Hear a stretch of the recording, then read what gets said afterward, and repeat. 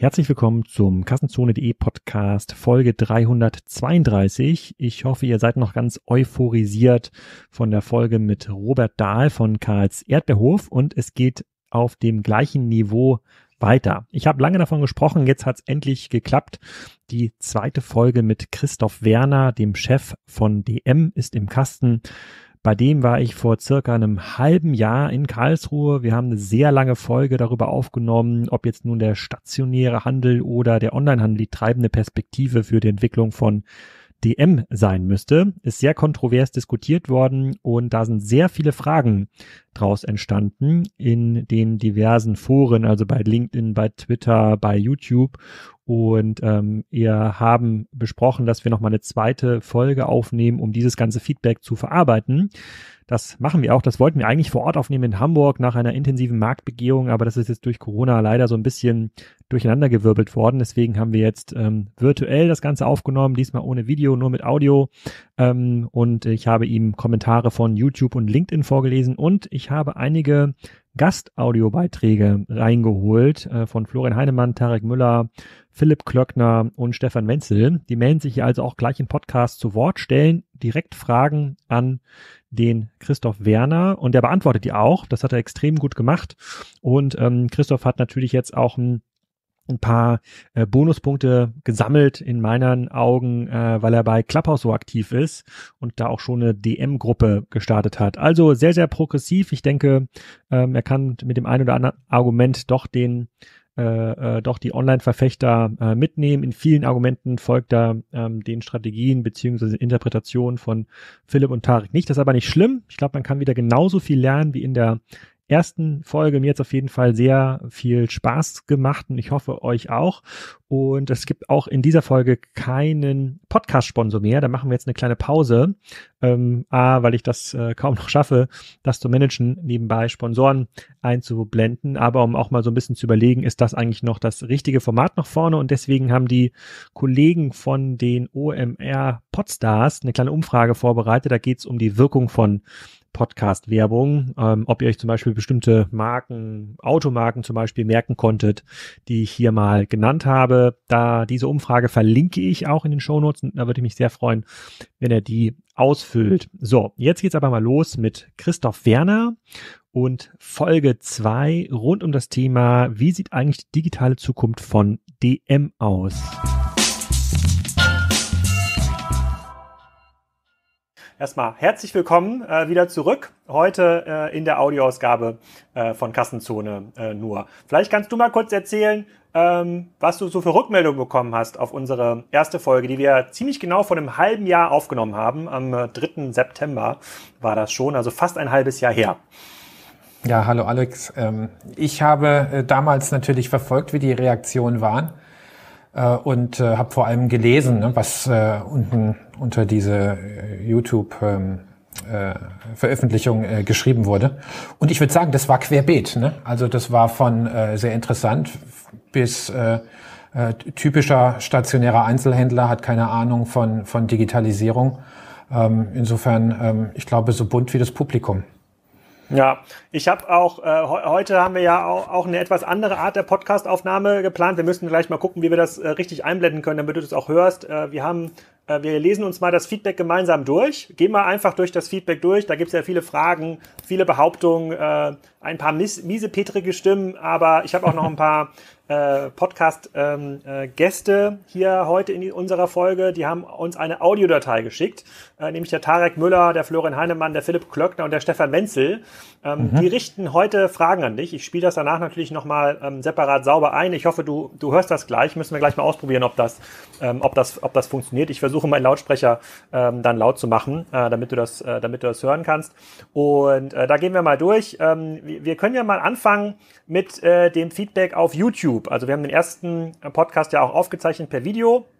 Und bei YouTube habe ich, äh, hat der Kassenzone-Kanal eine deutlich ähm, ja, heterogenere Zielgruppe. Da gibt es sowohl Online-Fans als auch stationäre äh, ähm, Fans. Das sind jetzt nicht alles Digital First äh, Leute. Ich kann mal versuchen, hier meinen Bildschirm auch zu teilen. Vielleicht kannst du das sogar sehen äh, ja, bei dir. Ich weiß nicht, mhm. ja, ich weiß nicht, ob es gespiegelt ist oder ob man das halbwegs, ähm, ob das, nee, nee, ob man das, nee, mhm. ob man das lesen kann. Und äh, wenn man da mal unter die Podcast-Folge äh, ähm, klickt, Da, ähm, äh, da sagt zum Beispiel der Christian P., ich habe mich lange auf diese Episode gefreut. Ich mag ja vor allem die kontroversen Gespräche. Ich glaube, Alex, du unterschätzt den Normalo-Käufer und überschätzt den Convenience-Faktor von Online-Bestellungen. Ähm, die, äh, dazu mein Lieblingszitat. Ja, Alexander, aber die Menschen sind nicht singulär. Christoph hat mit seiner Sicht auf die Drogeriekäufer in meiner Wahrnehmung eine gute Draufsicht auf den Bevölkerungsquerschnitt. Dazu haben wir nachher auch noch mal eine Frage, äh, tatsächlich von dem, äh, von dem Philipp ähm, Klöckner. Und ich glaube, das war ja, ich weiß nicht, ob du ihm zustimmen würdest, das war ja auch so äh, wahrscheinlich der größte Reibungspunkt. Wir konnten uns jetzt nicht genau einigen, äh, für wen man diese Online-Strategien entwickelt, weil die breite Masse ja mit dem, was die M heute bietet, ja sehr zufrieden äh, ähm, ist. Würdest du da zustimmen? Ja, also ich glaube, ähm, was hier Christian P. schreibt, äh, trifft das ganz gut. Ne? Ähm, weil letzten Endes ist es immer eine Frage der Perspektive. Also äh, natürlich hast jetzt du aufgrund äh, des Umfeldes, in welchem du dich bewegst und äh, auch der Gespräche, die du führst, natürlich mehr den Blick jetzt auf äh, die digitale Realität äh, im Markt. Äh, und äh, die ist, glaube ich, von der Perspektive auch nicht falsch. Ne? Die, die Perspektive, die ich jetzt wiederum habe als äh, jemand, der verantwortlich ist in einem großen Unternehmen mit über 2000 stationären Märkten in Deutschland und auch einem Online-Shop, der gut funktioniert, ist da natürlich etwas anders, ne? weil ich jetzt halt noch die Perspektive aus dem stationären Geschäft habe welches ich glaube für dich jetzt weniger äh, eine Wahrnehmungsoberfläche ist als für mich. Ne? Äh, und deswegen, deswegen glaube ich, haben wir da einfach unterschiedliche äh, Blickwinkel. Und das Problem entsteht halt immer dann, wenn, äh, wenn dann man versucht, die, die eigene Sichtweise zu, zu verabsolutieren und zu glauben, äh, dass es die einzig richtige ist. Ähm, das mag manchmal funktionieren. Meine Erfahrung ist, dass äh, das halt immer äh, dazu dazu verleitet, dass man dann plötzlich die anderen äh, Chancen, die ein Markt halt auch noch bietet, äh, nicht mehr im Blick behält und äh, dann äh, diese Chancen nicht mehr ergreift. Ne? Da, dazu muss man auch sagen, dass äh, das ähm, negativste Feedback, was mich erreicht hat, bezogen auf meine Position in unserer ersten Folge, war ja, dass äh, ich äh, sozusagen wenig in die Story Search investiert habe. Aufgrund unserer Lage und des Hamburger Büros, äh, da, da sind nicht so viele DMs in der Nähe. Äh, war ich da vorher nicht ein DM? Das habe ich natürlich zwischendurch nachgeholt. Gegenüber von unserem Berliner Büro in der in Berlinenstraße ist natürlich ein, äh, ein, ein DM, natürlich, da, da war ich drin, aber da habe ich doch das ein oder andere hämische Feedback ähm, ähm, einstecken äh, müssen. Äh, das habe ich aber nachgeholt und kann versichern, äh, ich weiß mittlerweile, äh, wie es da im, äh, wie es da im Laden, wie es da im Laden aussieht. Wir können uns ja noch mal ein weiteres, äh, ein weiteres Zitat hier aus der YouTube-Folge. Äh, ja, vielleicht anschauen. aber noch mal gerade zu dieser, zu diesem kurzen Episode in unserer letzten äh, Aufnahme. Ich meine, Alex, das war, war natürlich auch ein bisschen, ein bisschen gemein letzten Endes dann von mir, ne? weil in dem Gespräch, als wir darüber sprachen, ähm, und jetzt habe ich ja schon viele deiner Podcasts auch gehört äh, davor und, und auch seitdem. Ähm, also ich, ich, weiß ja, dass du vor allem die, die, die digitale Perspektive hast. Ne? Und, und als wir dann sprachen, merkte ich natürlich schon, dass du äh, jetzt die, die stationäre Perspektive nicht so hast. Aber ich glaube nicht, weil du sie weil, weil du sie nicht ernst nehmen möchtest, sondern einfach, weil du dem gegenüber nicht so exponiert bist. Ne?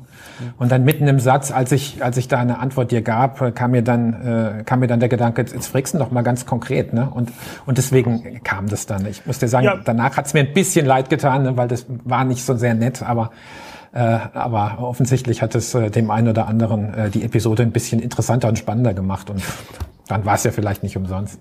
Ja, nee, es war auch nicht umsonst. Das ist ja auch absolut, äh, das ist ja auch absolut fair. Wir kommen ja natürlich auch auf sozusagen Feedback äh, äh, gleich nochmal zu sprechen, was auch an dich gerichtet ähm, war. Aber ich äh, bleibe mal ganz kurz im YouTube-Kanal. Ähm, mhm. ähm, da äh, hat schreibt zum Beispiel ähm, Joel, der schräg, der ist quasi auch ein Supporter deiner Perspektive. Also ich habe mit E-Commerce in letzter Zeit nur schlechte Erfahrungen gemacht, sehr schlechte Produkte bekommen. Ähm, Produkte, die teilweise Top-Bewertungen haben, äh, ähm, die, äh, die waren aber die waren aber nicht so, äh, die waren nicht so gut. Ähm, die Produkte waren teilweise so aufwendig verpackt, dass ich die Probleme hatte, sie wieder zu ähm, retournieren. Meine nächste Poststation ist 20 Minuten ähm, weg. Und das ist natürlich schon, schon eine Perspektive, die dann sehr stark auf äh, äh die äh, Kundengruppe, die du da dann vertreten hast, aus dem stationären Bereich einschlägst. Es ist, ist nicht für jeden was ähm, dabei. Und es gibt halt viele Cases, bei denen man insbesondere im Drogeriebereich online heute noch nicht so stark äh, bedient wird. Und sehr spannend fand ich auch die äh, Perspektive. Ich habe natürlich auch mit ähm, Alexei, der vor Ort gefilmt hat, auch äh, ähm, gesprochen, ähm, der aus Russland kommt und äh, dort gibt es diese Art von Drogeriekonzept so nicht. Und er fand es extrem wertstiftend, dass man hier Drogerien wie euch oder Rossmann hat, wo man diese ähm, Sortimente ähm, zentral bekommt. Und das ist auch äh, das Feedback von dem Kommentar von Fischer Tech Robots. Ähm, du, Alex, du fragst, wo der Franzose Drogeriesachen kauft, kann ich dir sagen, bei uns im Rossmann und DM, ich wohne in einem Grenzort zu Frankreich, Kunden sind zu 90 Prozent äh, Franzosen. Ist das so? Ist der französische Markt noch nicht so weit mit ähm, spezialisierten Drogerien oder ist das jetzt eine isolierte Beobachtung von Fischer Tech Robots? Ja, es ist schon so, dass es die Drogeriemärkte, so wie wir das in Deutschland kennen, in äh, Frankreich nicht gibt. Da hat sich der Markt mhm. einfach anders entwickelt. Äh, da sind die Drogerieartikel äh, vor allem in den sogenannten Hypermarchés oder SB-Warenhäuser, wie man bei uns sagen würde, äh, zu finden oder auch in, auch in den Supermärkten oder Verbrauchermärkten. Ähm, und äh, deswegen ist jetzt äh, die Atmosphäre, die man in einem Drogeriemarkt findet, äh, natürlich was Besonderes in dem Konzept, was in Deutschland auch für Franzosen dann zugänglich ist und in Frankreich sich halt so nicht findet. Und es ist wahr, dass in den Grenzgebieten sehr, sehr viele Franzosen nach Deutschland kommen, um ihre Einkäufe zu tätigen. Hat auch mit dem Preisgefälle was zu tun, weil die Lebensmittel, aber auch die Drogerieartikel in Deutschland doch nochmal deutlich günstiger sind als in Frankreich. Und insofern ist diese Beobachtung von dem Kommentator hier ähm, deckt sich mit unserer äh, Erfahrung.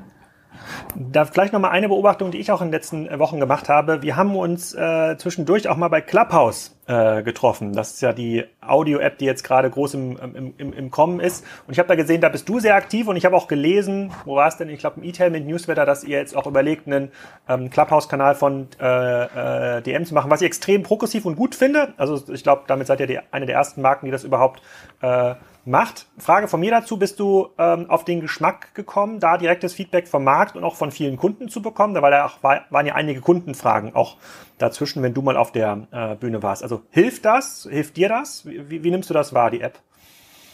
Die App Clubhouse. Na, es ist ja. ja noch ein relativ neues Phänomen in Deutschland jetzt. Und es ist ja auch noch ähm, äh, eingeschränkt durch die zwei Features, die Clubhouse im Moment ausmachen. Das eine ist die Beta-Version, die halt nur auf dem Betriebssystem iOS läuft und nicht auf Android. Und Android ist ja die verbreitetere ähm, äh, Plattform in, in Deutschland.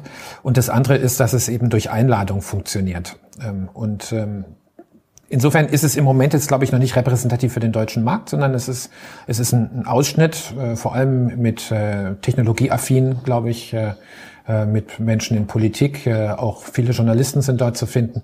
Äh, alles, was so aus der Venture Capitalist Szene kommt, tummelt sich dort ja auch. Insofern ist es, ist es eine besondere Situation im Moment. Allerdings die Idee von Clubhouse, die, die finde ich sehr, sehr spannend, weil wenn wir mal in die sozialen Medien schauen, und äh, da sind ja die, die, die weit verbreiteten Formate äh, sind, sind bekanntlich dann Facebook oder auch Instagram oder auch Twitter.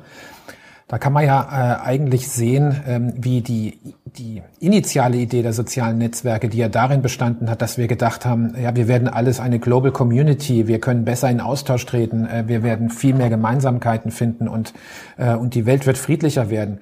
Das das sich doch anders entwickelt hat. Es gibt ja Stimmen, die sagen, äh, it's a big hate machine.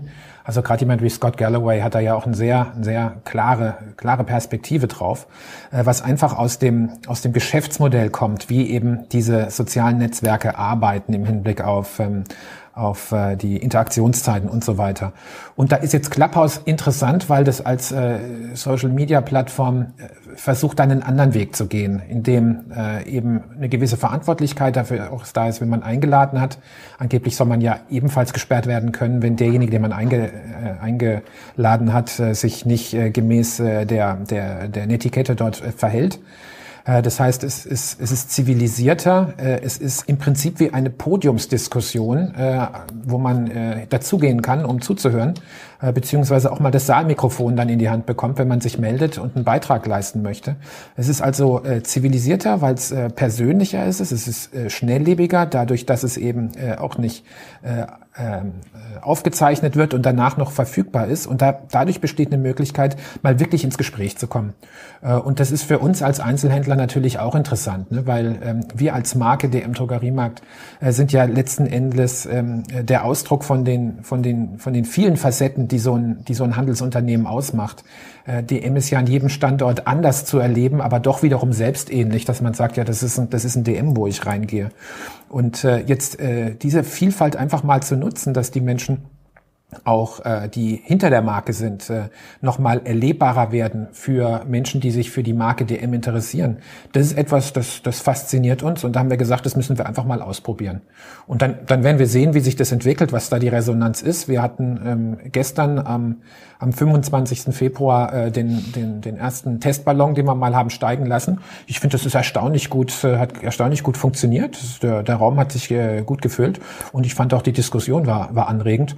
Und äh, so werden wir da einfach mal äh, experimentell äh, nach vorne schreiten. Äh, die Plattform wird sich verändern und unsere Erfahrungen werden dann reicher werden und dann wird man sehen. Das Schöne ist ja auch bei Clubhouse, dass die Exit-Kosten eigentlich äh, non-existent sind. Ne? Dadurch, dass es eben, dass es eben äh, ja so, so, so kurzlebig ist ne? und nicht und nicht gepostet wird äh, und nicht äh, keine keine Das Timeline stimmt, gibt. das stimmt. Und ich, wie gesagt, ich finde es gut und auch wenn nur 20, 30 Leute im Raum sind, das ist ja schon eine ganze Menge, wenn man sich überlegt, was man bisher immer an einem Aufwand betreiben musste, um mal 20, 30, 40 interessierte Leute vor Ort in irgendeine Location äh, zu ziehen. Das, das ist wirklich der Wahnsinn äh, äh mit dieser, sozusagen mit diesem Opt-in-Modus. Bevor wir gleich zu den ersten äh, Fragen ähm, kommen, sozusagen per Audio, würde ich gerne nochmal äh, den Kanal wechseln und zwar auf LinkedIn schauen. Also YouTube, wie gesagt, ein Kanal, da würde ich sagen, da ähm, gab es äh, mehr, deutlich mehr Zustimmung für die stationäre Perspektive und noch mehr äh, Verständnis. Äh, LinkedIn ähm, deutlich spezifischer, spezifischerer Ausschnitt meiner Blase. Da gab es äh, äh, ein bisschen, äh, bisschen anderes Feedback. Ich, äh, ich, ich versuche das hier mal zu teilen. Ich hoffe, du kannst es wieder äh, mhm. sehen äh, hier am Bildschirm. Ähm, da scrollen wir mal ein bisschen runter. Und da hat zum Beispiel der ähm, Ralf äh, Kothoff, das ist auch ein äh, ähm, ja, regelmäßiger Kassenzone-Hörer, ähm, gesagt, ähm, okay, wow, buchstäblich nichts, was Christoph Werner gesagt hat, konnte mich überzeugen, dass es DM langfristig noch geben wird. Erschreckend war für mich vor allem die Parallelwetten, der erlebt zur Wahrnehmung, was in einer durchschnittlichen DM-Filiale so passiert als wenn die Kunden wegen der Beratung dahin kommen. Noch nie habe ich mitbekommen, dass sich ein Kunde mit einer Drogeristin länger über Haarprodukte äh, ähm, ähm, austauscht und so weiter äh, und so weiter. Äh, und er, er, schließt im, äh, er schließt im Grunde genommen er schließt im Grunde genommen ab äh, mit der ähm, äh, mit, mit der Bewertung Ergo einfach gar nichts in der normalen DM-Filiale ist getrimmt auf Beratung. Und selbst wenn es so wäre, es gibt so viele Angriffsvektoren von online, die dieses Beratungskonzept ausstechen äh, ähm, können.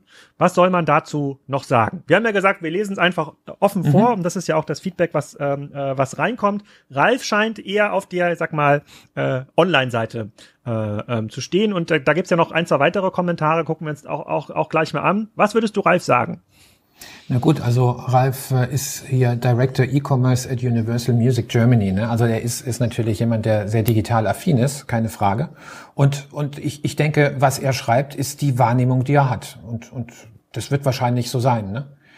Ähm, mhm. Jetzt, jetzt gibt's natürlich immer, immer die zwei Gesichtspunkte. Ne? Das eine ist äh, die Wahrnehmung und die Vorstellung, die ich habe, und dann die Realität, die ich selbst wahrnehmen kann. Und da habe ich halt eine andere Wahrnehmung als er, aufgrund der Feedbacks, die ich aus den Filialen bekomme, die ich auch von Kunden bekomme, die er jetzt wiederum nicht bekommt, und die Zahlen, die ich sehe. Ja, mhm. insofern ist, äh, ist, ist äh, für, für meine Erfahrungen, meine Erkenntnisse sind ja meine neuen Wahrnehmungen immer wieder das Korrektiv, damit ich äh, sozusagen nah an der Realität bleibe. Äh, und, und da ist meine halt einfach eine andere als seine. Äh, ja. Das heißt jetzt nicht, dass seine falsch ist, ne? Aber, aber ich, ich muss ja meine aber, Entscheidung genau. treffen, basierend auf dem, was ich äh, immer wieder an neuen Wahrnehmungen habe.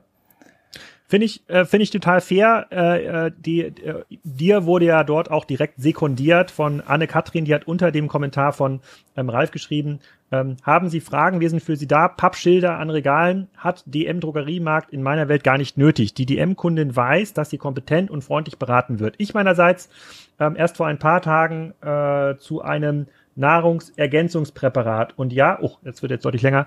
Und ja, es mag antiquiert klingen. Es gibt tatsächlich noch Menschen, die dankbar sind, unter Menschen einkaufen zu können. Auch wenn oft nur per Expressabholung. Dann gibt's noch ein paar weitere äh, Lobesbekundungen von Ihnen, aber sie sagt auch zum Beispiel in einem weiteren Kommentar unter dem LinkedIn-Post, Pick und Packt, Click und Collect bei dem Expressabholung genannt ist das Beste schlechthin. Am Rechner oder via Handy eben mal alles in den Einkaufskorb gelegt und schnell per PayPal bezahlt. Auf dem Heimweg ruckzuck abgeholt ohne lästiges Anstehen an der Kasse ordentlich verpackt in einer schönen, stabilen, umweltfreundlichen Tüte. Das nennt sich Convenience. Also diese beiden Extrempositionen finden sich auch in, äh, ähm, in meiner Blase. Die sind aber natürlich schon schwer zu verheiraten, oder? Also den, den Ralf jetzt mit einer Online-First Einkaufsexperience glücklich zu machen, das mhm. dürfte schwer werden, oder? Ja, nur andererseits jetzt die, die Dame, die sich hier geäußert hat, ist Grafik- und äh, Webdesignerin. Ne? Ja. Sie ist eine Geschäftsführerin bei, bei, einer, bei einem Unternehmen. Ähm, ja, die hat halt, die lebt, die lebt halt in einer anderen Wahrnehmungswelt. Ne? Die ist, die ist genauso real wie die vom ersten. Ja. Okay, also Ralf und äh, ähm, Anne-Kathrin, beide haben recht und sozusagen deine Herausforderung als Geschäftsführer ist, so ein bisschen zu schauen, für welche Kohorte op optimiert man eigentlich das ähm, ähm, das Erlebnis. Dann, äh, Absolut. Äh, ich, ich meine, wir sind ja, wir sind ja kein super spitzes Konzept bei der im Drogeriemarkt. Ne? Wir haben, wir haben am Tag äh, um die zwei Millionen Kunden, die zu uns kommen. Äh, und Kunden kommen ja nicht jeden Tag. Ne? Das heißt, äh, das sind sehr, sehr viele Menschen, die bei dem Drogeriemarkt einkaufen. Wir sind äh, in unserer, in, in unserer Bekanntheit fast bei fast bei 100 Prozent. Und wenn wir Marktforschung angucken äh, und da wird gefragt, äh, waren Sie in den letzten, sagen wir mal, zwölf Wochen bei DM, äh, da liegen wir weit über 80 Prozent. Äh, das heißt, das ist die Vielfalt von Deutschland, äh, die sich in unserer Kundschaft wiederfindet. Und unsere Aufgabenstellung ist es, ein Angebot zu generieren, wo diese Vielfalt für sich das findet, was für sie relevant ist. Ja. Und deswegen die Warenkörbe variieren. Ne? Deswegen haben wir auch 13.000 ähm, Artikel im stationären Geschäft, damit für jeden etwas dabei ist, aber keiner kauft 13.000 unterschiedliche Artikel natürlich.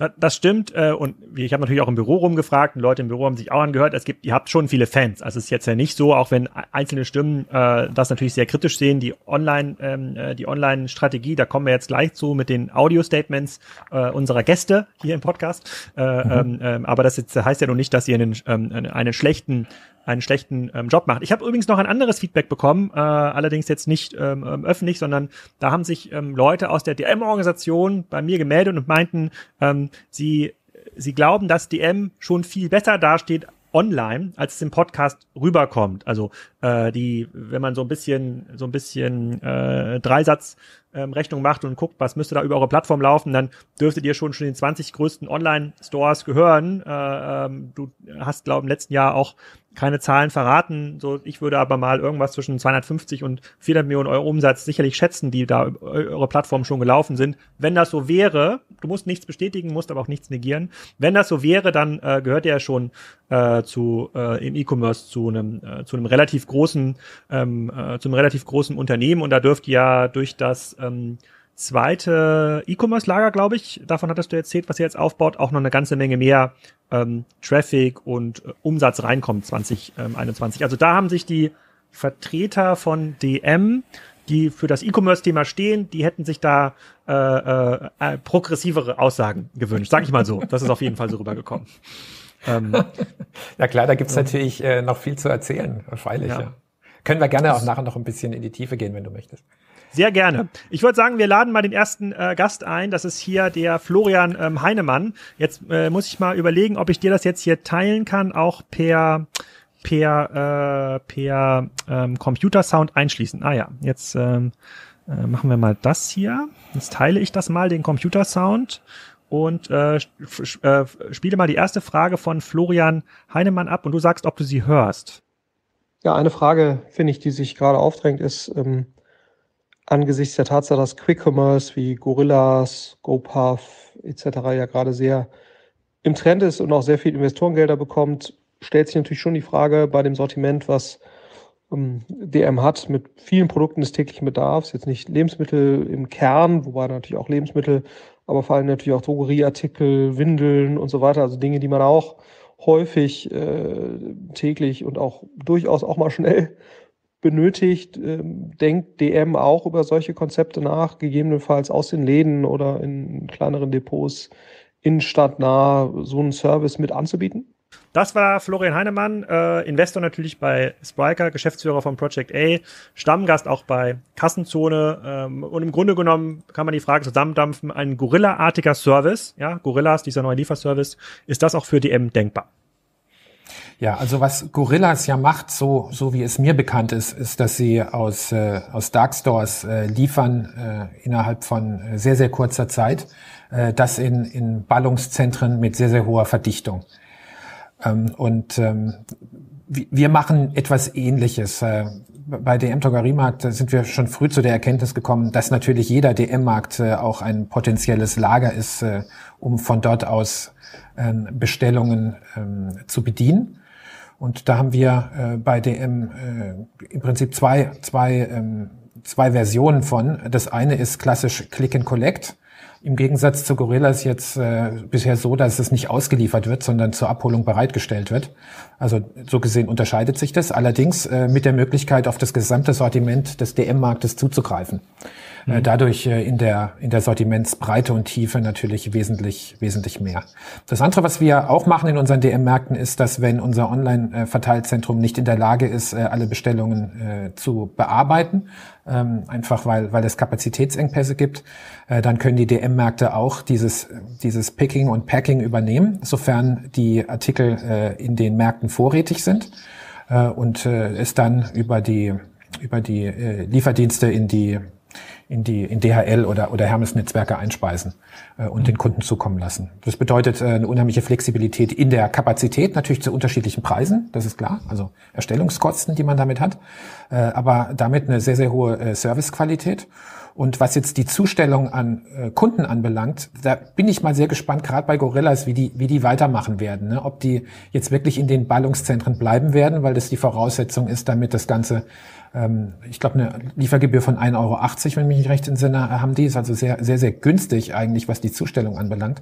Ob sie das wirklich äh, dann beibehalten können, wenn sie auch mal in weniger dicht besiedelte äh, Gebiete äh, vordringen, wo dann äh, die, die Distanzen, die überwunden werden müssen zwischen Lager und zwischen Zustellungsort äh, größer werden. Äh, das, wird, das wird spannend sein zu sehen. Letzten Endes glaube ich, dass solche Services natürlich immer von den Bedürfnissen der Kunden abhängen und auch von der Bereitschaft der Kunden dafür zu bezahlen. Am Ende wird es ähm, wahrscheinlich äh, günstiger sein, sich die Waren äh, abzuholen, wenn es nicht so weit ist. Ähm, äh, andererseits, äh, wenn man wenn man dann in ein, wenn man kein Fahrzeug haben sollte selbst und dann ein, ein, äh, irgendein Stadtmobil sich sich mieten muss oder oder sowas und äh, hat dann entsprechende Kosten, dann rechnet sich's wieder anders. Ähm, da wird man mal sehen, hängt mit den, äh, mit den ähm, Mobilitätskonzepten in den Städten auch äh, zusammen mit den, mit den ähm, Bedürfnissen der Kunden. Äh, und ähm, ich sage immer bei DM, wir wissen nicht genau, wie die Kunden künftig sein werden. Allerdings setzen wir alles daran, dass wir so nah am Kunden sind, dass wir, ähm, wenn wir sehen, wie die Bedürfnisse sich verändern, dann unser Leistungsangebot entsprechend äh, darauf abstimmen können. Ja, also ich, ich glaube, äh, Gorillas arbeitet jetzt ja gerade an einer weiteren Finanzierungsrunde über 100 Millionen ähm, Euro. Dass sie jetzt in äh, schlechter besiedelte äh, Regionen kommen, ist extrem unwahrscheinlich, weil das widerspricht dem Konzept ähm, ähm, schon ein wenig. Ähm, wobei der, äh, hier jetzt die Frage wäre, wäre, wenn das ein Konzept ist, was nur in dicht besiedelten Regionen funktioniert, also Hamburg, Berlin, mhm. Köln oder auch, auch mal in Kiel, ähm, ist das dann für dich ähm, kein Konzept, was du ausrollen würdest, weil es nicht jeder DM-Kunde nutzen könnte. Also vielleicht könnten das dann ja nur 30 Prozent der DM-Kunden nutzen, weil sie genau in diesen, nennen wir es mal, DM Speed Delivery Option äh, Bezirk wohnen. Also ist das für dich eine, äh, ein Teil der, der Abwägung zu sagen, wenn es nicht alle nutzen können, dann möchte ich das gar nicht etablieren, weil dann habe ich einfach zu viel Stress, den Kunden, die sich dann beschweren, das zu erklären, warum sie es nicht nutzen können. Nein, also das wäre das wäre schon mal äh, kein Kriterium. Ne? Genauso wie heute äh, es ja so ist, dass wenn ich Click and Collect machen möchte, äh, ich die Einschränkung habe des verfügbaren Sortiments in dem DM-Markt, wo ich abholen möchte, äh, wäre das dann eben auch eine Einschränkung, äh, die die, die dazu führt, dass wenn ich im ländlichen äh, Raume wohne, äh, halt gewisse Zustellservices zu so einem Preis nicht haben kann. Ähm, das sehe ich nicht als Problem, zumal wir ja auch gerade jetzt im, im stationären Geschäft ist es ja so, dass die, dass die Kunden äh, ja nur die Möglichkeiten haben, dort einzukaufen, wo sie äh, mit vertretbarem Aufwand sich hinbewegen können. Das ist ja nicht wie im, im Online-Bereich, ne, wo es im Prinzip egal ist, wo das Verteilzentrum steht, solange ich gewisse Lieferzeiten äh, bereit bin äh, zu akzeptieren. Insofern, äh, die Differenzierung ist etwas, äh, die, die glaube ich, von Kunden auch akzeptiert wird, wenn sie nachvollziehbar ist und nicht willkürlich erscheint.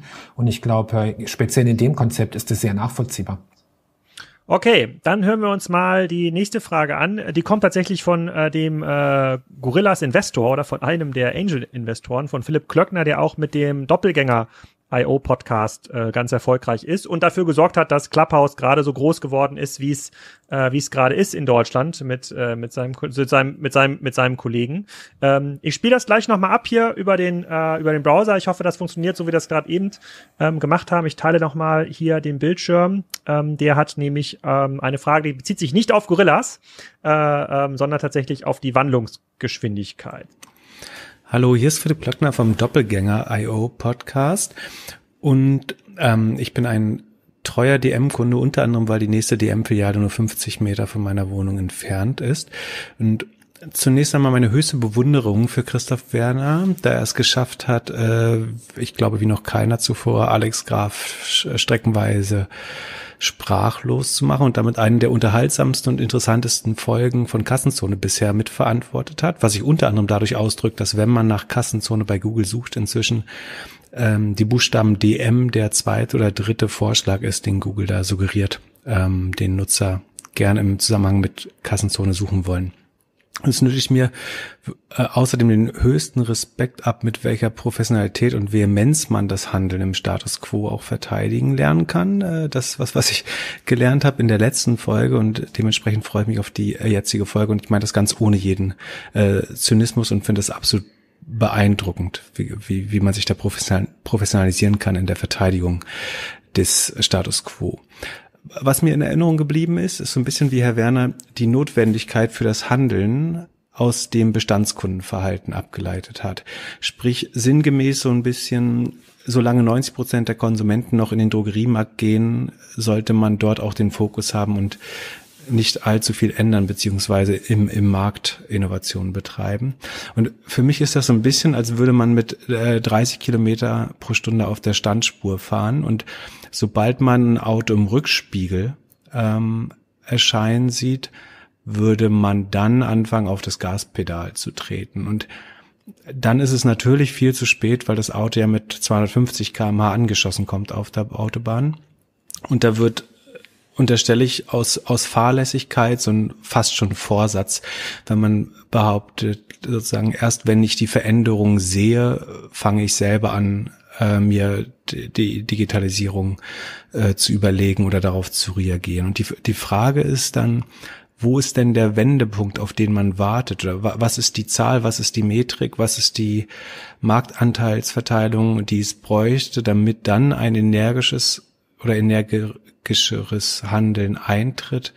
Ähm, und ist es dann nicht eigentlich schon langs, längst zu spät? Schöne Grüße, Philipp. So, das war die Frage von, ähm, ich hoffe, das konnte man alles gut hören. Ähm, das war jetzt die Frage von Philipp äh, äh, Klöckner. Damals, als er die aufgenommen und mir geschickt hat, war übrigens noch gar nicht klar, dass er, mir nicht klar, dass er Gorillas Investor ist, aber äh, ähm, äh, das, äh, das können wir ausblenden, äh, diese Information. Ähm, da hat man sich ja mehrere Sachen drin versteckt. Zum einen sagt er, ähm, ihr wandelt euch nicht oder ihr wandelt euch zu langsam, ihr bewegt euch also auf der Autobahn zu langsam hinweg. Und die zweite, äh, ist das so? Das erste Frage. Und die zweite Frage ist, ähm, gibt es einen Wendepunkt? Also gibt es quasi irgendein mhm. Event, irgendein KPI im Markt, was du sehen würdest, wo du sagst, jetzt aber Vollgas, jetzt machen wir mal die Filialen mhm. zu, jetzt machen wir nur noch Versandlager und äh, äh vielleicht auch Phantom Stores. Ja, also ähm, zunächst mal das Bild, äh, welches hier Philipp Klöckner verwendet, ähm, ist, ist glaube ich, kein Bild, welches die Realität, in der wir uns befinden, wirklich ähm, äh, widerspiegelt. Also 30 kmh auf der Standspur, während dann äh, ein Auto mit 250 angebrettert kommt und äh, jetzt sozusagen äh, die Geschwindigkeit vorgibt. Ne? Ähm, also äh, ich glaube, das ist nicht die Realität, in der wir uns befinden im Moment, ne? sondern die Realität, in der wir uns befinden, ich sag mal, wenn ich es mal in ein Bild bringen darf, welches ich schon mal äh, bemüht habe in einem Podcast mit äh, Joel Kaczmarek bei Digital Kompakt. Ne? Ich sag, das ist eigentlich wie ähm, wenn wenn wenn man auf einer Tanzfläche ist, wo ein gewisser gewisser Beat gespielt wird und dann geht dieses Lied zu Ende und das neue kommt. Und die Aufgabe von dem DJ ist ja dann, ähm, den Übergang so zu gestalten, dass die Tanzfläche sich nicht leert, ne? Sondern äh, dass, äh, dass, die, dass die Menschen im Rhythmus bleiben, ja, die, die auf der Tanzfläche sind. Das heißt, äh, da muss ich gucken, dass ich das, dass ich das synchronisiere. Und ich habe diesen Synchronisierungsvorgang, der sozusagen den Übergang dann ähm, möglich macht. So, und jetzt äh, bezogen auf die Situation, in die wir sind. Also wenn, wenn du so willst, äh, das bisherige Lied, ja, ist äh, das Lied des stationären Einzelhandels. Und jetzt kommt äh, das neue Lied und das ist äh, Omnichannel Retailing, ähm, welches einen großen Teil hat von, von, von Online auch von, also von klassischem, also von richtigem Online, würde ich mal sagen, ja, wo man ähm, eben sich in den Markt gar nicht mehr bewegt, sondern wo man äh, von, von von irgendeinem Ort äh, auf der Welt äh, seine Bestellung äh, abgibt, vielleicht auch automatisiert und das dann nach Hause geliefert wird. Jetzt ist es allerdings so, dass ja nicht alle Menschen in Deutschland sich gleichzeitig verändern ja, sondern in unterschiedlichen Geschwindigkeiten, je nachdem, wo sie wohnen, äh, wie alt sie auch sind, was ihre bisherigen Gewohnheiten sind und was die Rahmenbedingungen sind, die sie haben. Und äh, deswegen ist die große Kunst da, den Übergang zu finden, und zwar in einer Art und Weise, dass man auf der einen Seite nicht die Menschen verliert, die im Moment noch den Hauptteil unseres Geschäftes auch ermöglichen durch ihre Einkäufe, auf der anderen Seite allerdings nicht äh, da so fixiert drauf bleibt, dass man gar nicht wahrnimmt, wie die Welt um einen herum sich verändert und man die entsprechenden Voraussetzungen schafft, um dann auch äh, in dieser Welt erfolgreich zu sein. Ich gebe dir mal ein ganz konkretes Beispiel. Unser, unser Service äh, Expressabholung im DM-Markt, der ja ein Click-and-Collect-Service ist. Äh, den haben wir ausprobiert äh, in München in einem Test ähm, äh, vor, vor einiger Zeit. Und das war überhaupt kein Erfolg. Das ist überhaupt nicht angenommen worden von den Menschen. Und da hätte man eigentlich sagen müssen, äh, funktioniert nicht. Äh, und ist ja nicht zu, nicht zu vergessen, es geht ja nicht nur darum, dass die Kolleginnen und Kollegen in den M-Märkten dann die Aufträge, die sie bekommen, äh, in Tüten packen und, und bereitstellen. Die ganze Infrastruktur muss ja dafür da sein, dass also die, die richtigen Produkte angezeigt werden, ähm, auch so angezeigt werden, dass sie zum Zeitpunkt, äh, wenn die Ware verpackt wird, auch noch in den Regalen ist und nicht von den Kunden äh, schon raus ähm, äh, abverkauft worden ist. Äh, also diese ganzen ähm, Investitionen in die Infrastruktur sind nicht zu unterschätzen im Hinblick auf den Aufwand, den das bedeutet. So, und jetzt, jetzt äh, mach, machen wir eine Expressabholung im DM-Markt äh, äh, in München und der funktioniert nicht. Und jetzt ist halt die Frage, äh, was, macht, was macht man jetzt? Sag mal, war nichts, also äh, wieder zurückbauen, ja, die ganzen Ressourcen woanders hin. Oder, oder sagen wir, naja, es könnte aber trotzdem relevant werden. Äh, ja, und dann kommt Corona. Dann kommt Corona, plötzlich heißt es Abstand wahren, äh, äh, ähm, vermeiden, dass man sich in, in äh, Situationen begibt, wo man, wo man äh, sich zu nahe kommt. Und eine Sorge war, dass es beim Einkaufen sein könnte, auch wenn die Infektionszahlen das so jetzt nicht zeigen, aber das stand ja absolut im Raum. Äh, jetzt vor einem Jahr ist es ja ungefähr, jetzt, also im Frühling äh, 2020. Ähm, tja, und dann plötzlich haben wir gesehen, Expressabholung im DM-Markt hat plötzlich eine enorme Relevanz gehabt. Und also haben wir es ausgerollt. Und dann hat es funktioniert. Und dann war es auch richtig, es auszurollen. Wenn wir es davor schon ausgerollt hätten, hätte das nur dazu geführt, dass wir einen Service angeboten hätten, der kaum in Anspruch genommen wird und auch die, die, ähm, die Prozessstabilität in unseren DM-Märkten äh, nicht äh, hätte greifen können. Weil wir dürfen nicht vergessen, es, es, muss ja eine gewisse Routine auch aufkommen. Wie, wie gehe ich damit um, wenn so ein Auftrag kommt? Ne? Wann packe ich den? Wie mache ich das? Ähm, da, da ist es ja wichtig für die Kolleginnen und Kollegen in den DM-Märkten, dass da auch ähm, dann Last auf, aufs System kommt, damit sich da die Routinen und die, und die, und die Souveränität in den Prozessen ergeben kann. Das heißt, ähm, damals, als, das, als wir die Erfahrung vor Corona hatten, wäre es der falsche Moment gewesen. Und äh, als dann äh, Corona die Rahmenbedingungen gegeben hat, war das etwas, was wirklich eingeschlagen ist. Und äh, das ist eben genau die Kunst, diesen Moment, diesen Moment zu erwischen. Äh, und äh, das ist auch die Art und Weise, wie wir damit umgehen. Und ich glaube, was vielleicht auch noch ein Unterschied ist zu dem äh, Geschäftsmodell, welches Philipp Klöckner jetzt hat, so wie ich Alex dich verstanden habe. Gorillas macht jetzt wieder eine große Finanzierungsrunde. Also die Frage ist ja, wo kommt denn die, die, der Cashflow her? Wo kommt denn die Liquidität her, um das Geschäft auch betreiben zu können? Und da macht es einen Unterschied, ob ich jetzt äh, ein, ein Geschäftsmodell bin, welches äh, gerne neues Eigenkapital aufnehmen möchte durch, äh, durch eine Veränderung in der Eigentümerstruktur oder ob ich sage, nee, wir wollen, wir wollen schauen, dass wir das schlank halten, so wie das beispielsweise bei DM Drogeriemarkt ist. Wir wollen keine neuen äh, Investoren reinnehmen äh, in die Gesellschafterseite und wir wollen deswegen die Innovation und die Weiterentwicklung des Geschäftes aus dem Cashflow betreiben. Äh, welches, äh, welches wir generieren mit den, mit den Menschen, die bei uns einkaufen. Insofern äh, sind es zwei unterschiedliche Herangehensweisen, äh, was jetzt die Finanzierung und die, die Allokation von Ressourcen anbelangt. Ähm, äh, weil das bedeutet, wenn wir äh, Click and Collect anbieten, dann muss das, dann muss das dann auch schon von den Kunden gewollt werden, damit es sich dann auch rechnet äh, am Ende. Dazu haben wir ja gleich noch eine äh, weiteren Audiogast mit Tarek Müller, der genau zu dieser äh, Frage auch, äh, der, der genau zu diesem Thema auch eine Frage stellt. Also wie bewertet man eigentlich ähm, äh, einen Picknick oder auch einen Gorillas oder andere Konzepte, die natürlich stark in der äh, Fremdkapitalabhängigkeit stehen am Anfang. Äh, kommen wir gleich zu, um jetzt äh, quasi die Antwort nochmal zu übersetzen und Philips Metapher zu nutzen. Du sagst, ihr fahrt nicht 30, sondern ihr fahrt schon 120, vielleicht auch deutlich schneller und habt aber hinten auf dem Hänger noch diverse Gefährte drauf, die äh, auch ähm, äh, die, äh, die dann auch das möglicherweise heranrasende Auto wieder einholen können, so wie Na, ihr das mit der Expressabholung gemacht habt. Ja, die, die, die, die, das Bild, was er verwendet, ist nicht, ist nicht eins, äh, welche sich beobachten kann. Es ist nicht die Situation, ne? sondern die Situation ist, äh, es ist ja nicht, dass ein Auto von hinten rangerast kommt, sondern es, es ist so, dass, ähm, also wenn du so willst, ne, ähm, ich versuche mich gerade mit diesem, mit diesem Bild zu verbinden, welches er verwendet, um, um zu gucken, inwiefern man das anwenden könnte. Also es ist ja nicht so, dass da einfach ein Auto angerast kommt, sondern es ist ja so, dass, dass du letzten Endes, wir sind, wir sind äh, unterwegs in einem Transportmittel, wenn du möchtest, und da sind Kunden, die, die, die, die kommen immer wieder, ja, die steigen ein und die steigen aus. Ja, und es geht ja darum, dass wir dies, dass, dass wir uns mit diesen Menschen verändern. Wir können ja nicht sagen, ja, wir, wir sind ja mit einem Auto unterwegs und da kommt plötzlich ein anderes Auto angepest. Ja, so, so, so ist es ja nicht sondern wir müssen ja unsere Leistung immer so erbringen, dass die Kunden auch bereit sind, äh, weiterhin diese Leistung bei uns abzunehmen, weil es auf der einen Seite das Vertraute ist, aber auf der anderen Seite auch wieder äh, durch die Innovation und die Weiterentwicklung immer wieder das Spannende, äh, welches Interesse erweckt. Mhm. Also ich, okay. ich, bin, ich bin weiterhin der Meinung, also das, das Bild des DJs ne, ähm, ist, ist, äh, ist etwas, was ich eher beobachten kann bei uns. Also wenn, wenn, sich die, wenn das neue Lied kommt, ne, wie gelingt der Übergang? Und zwar so, dass die Tanzfläche sich nicht leert.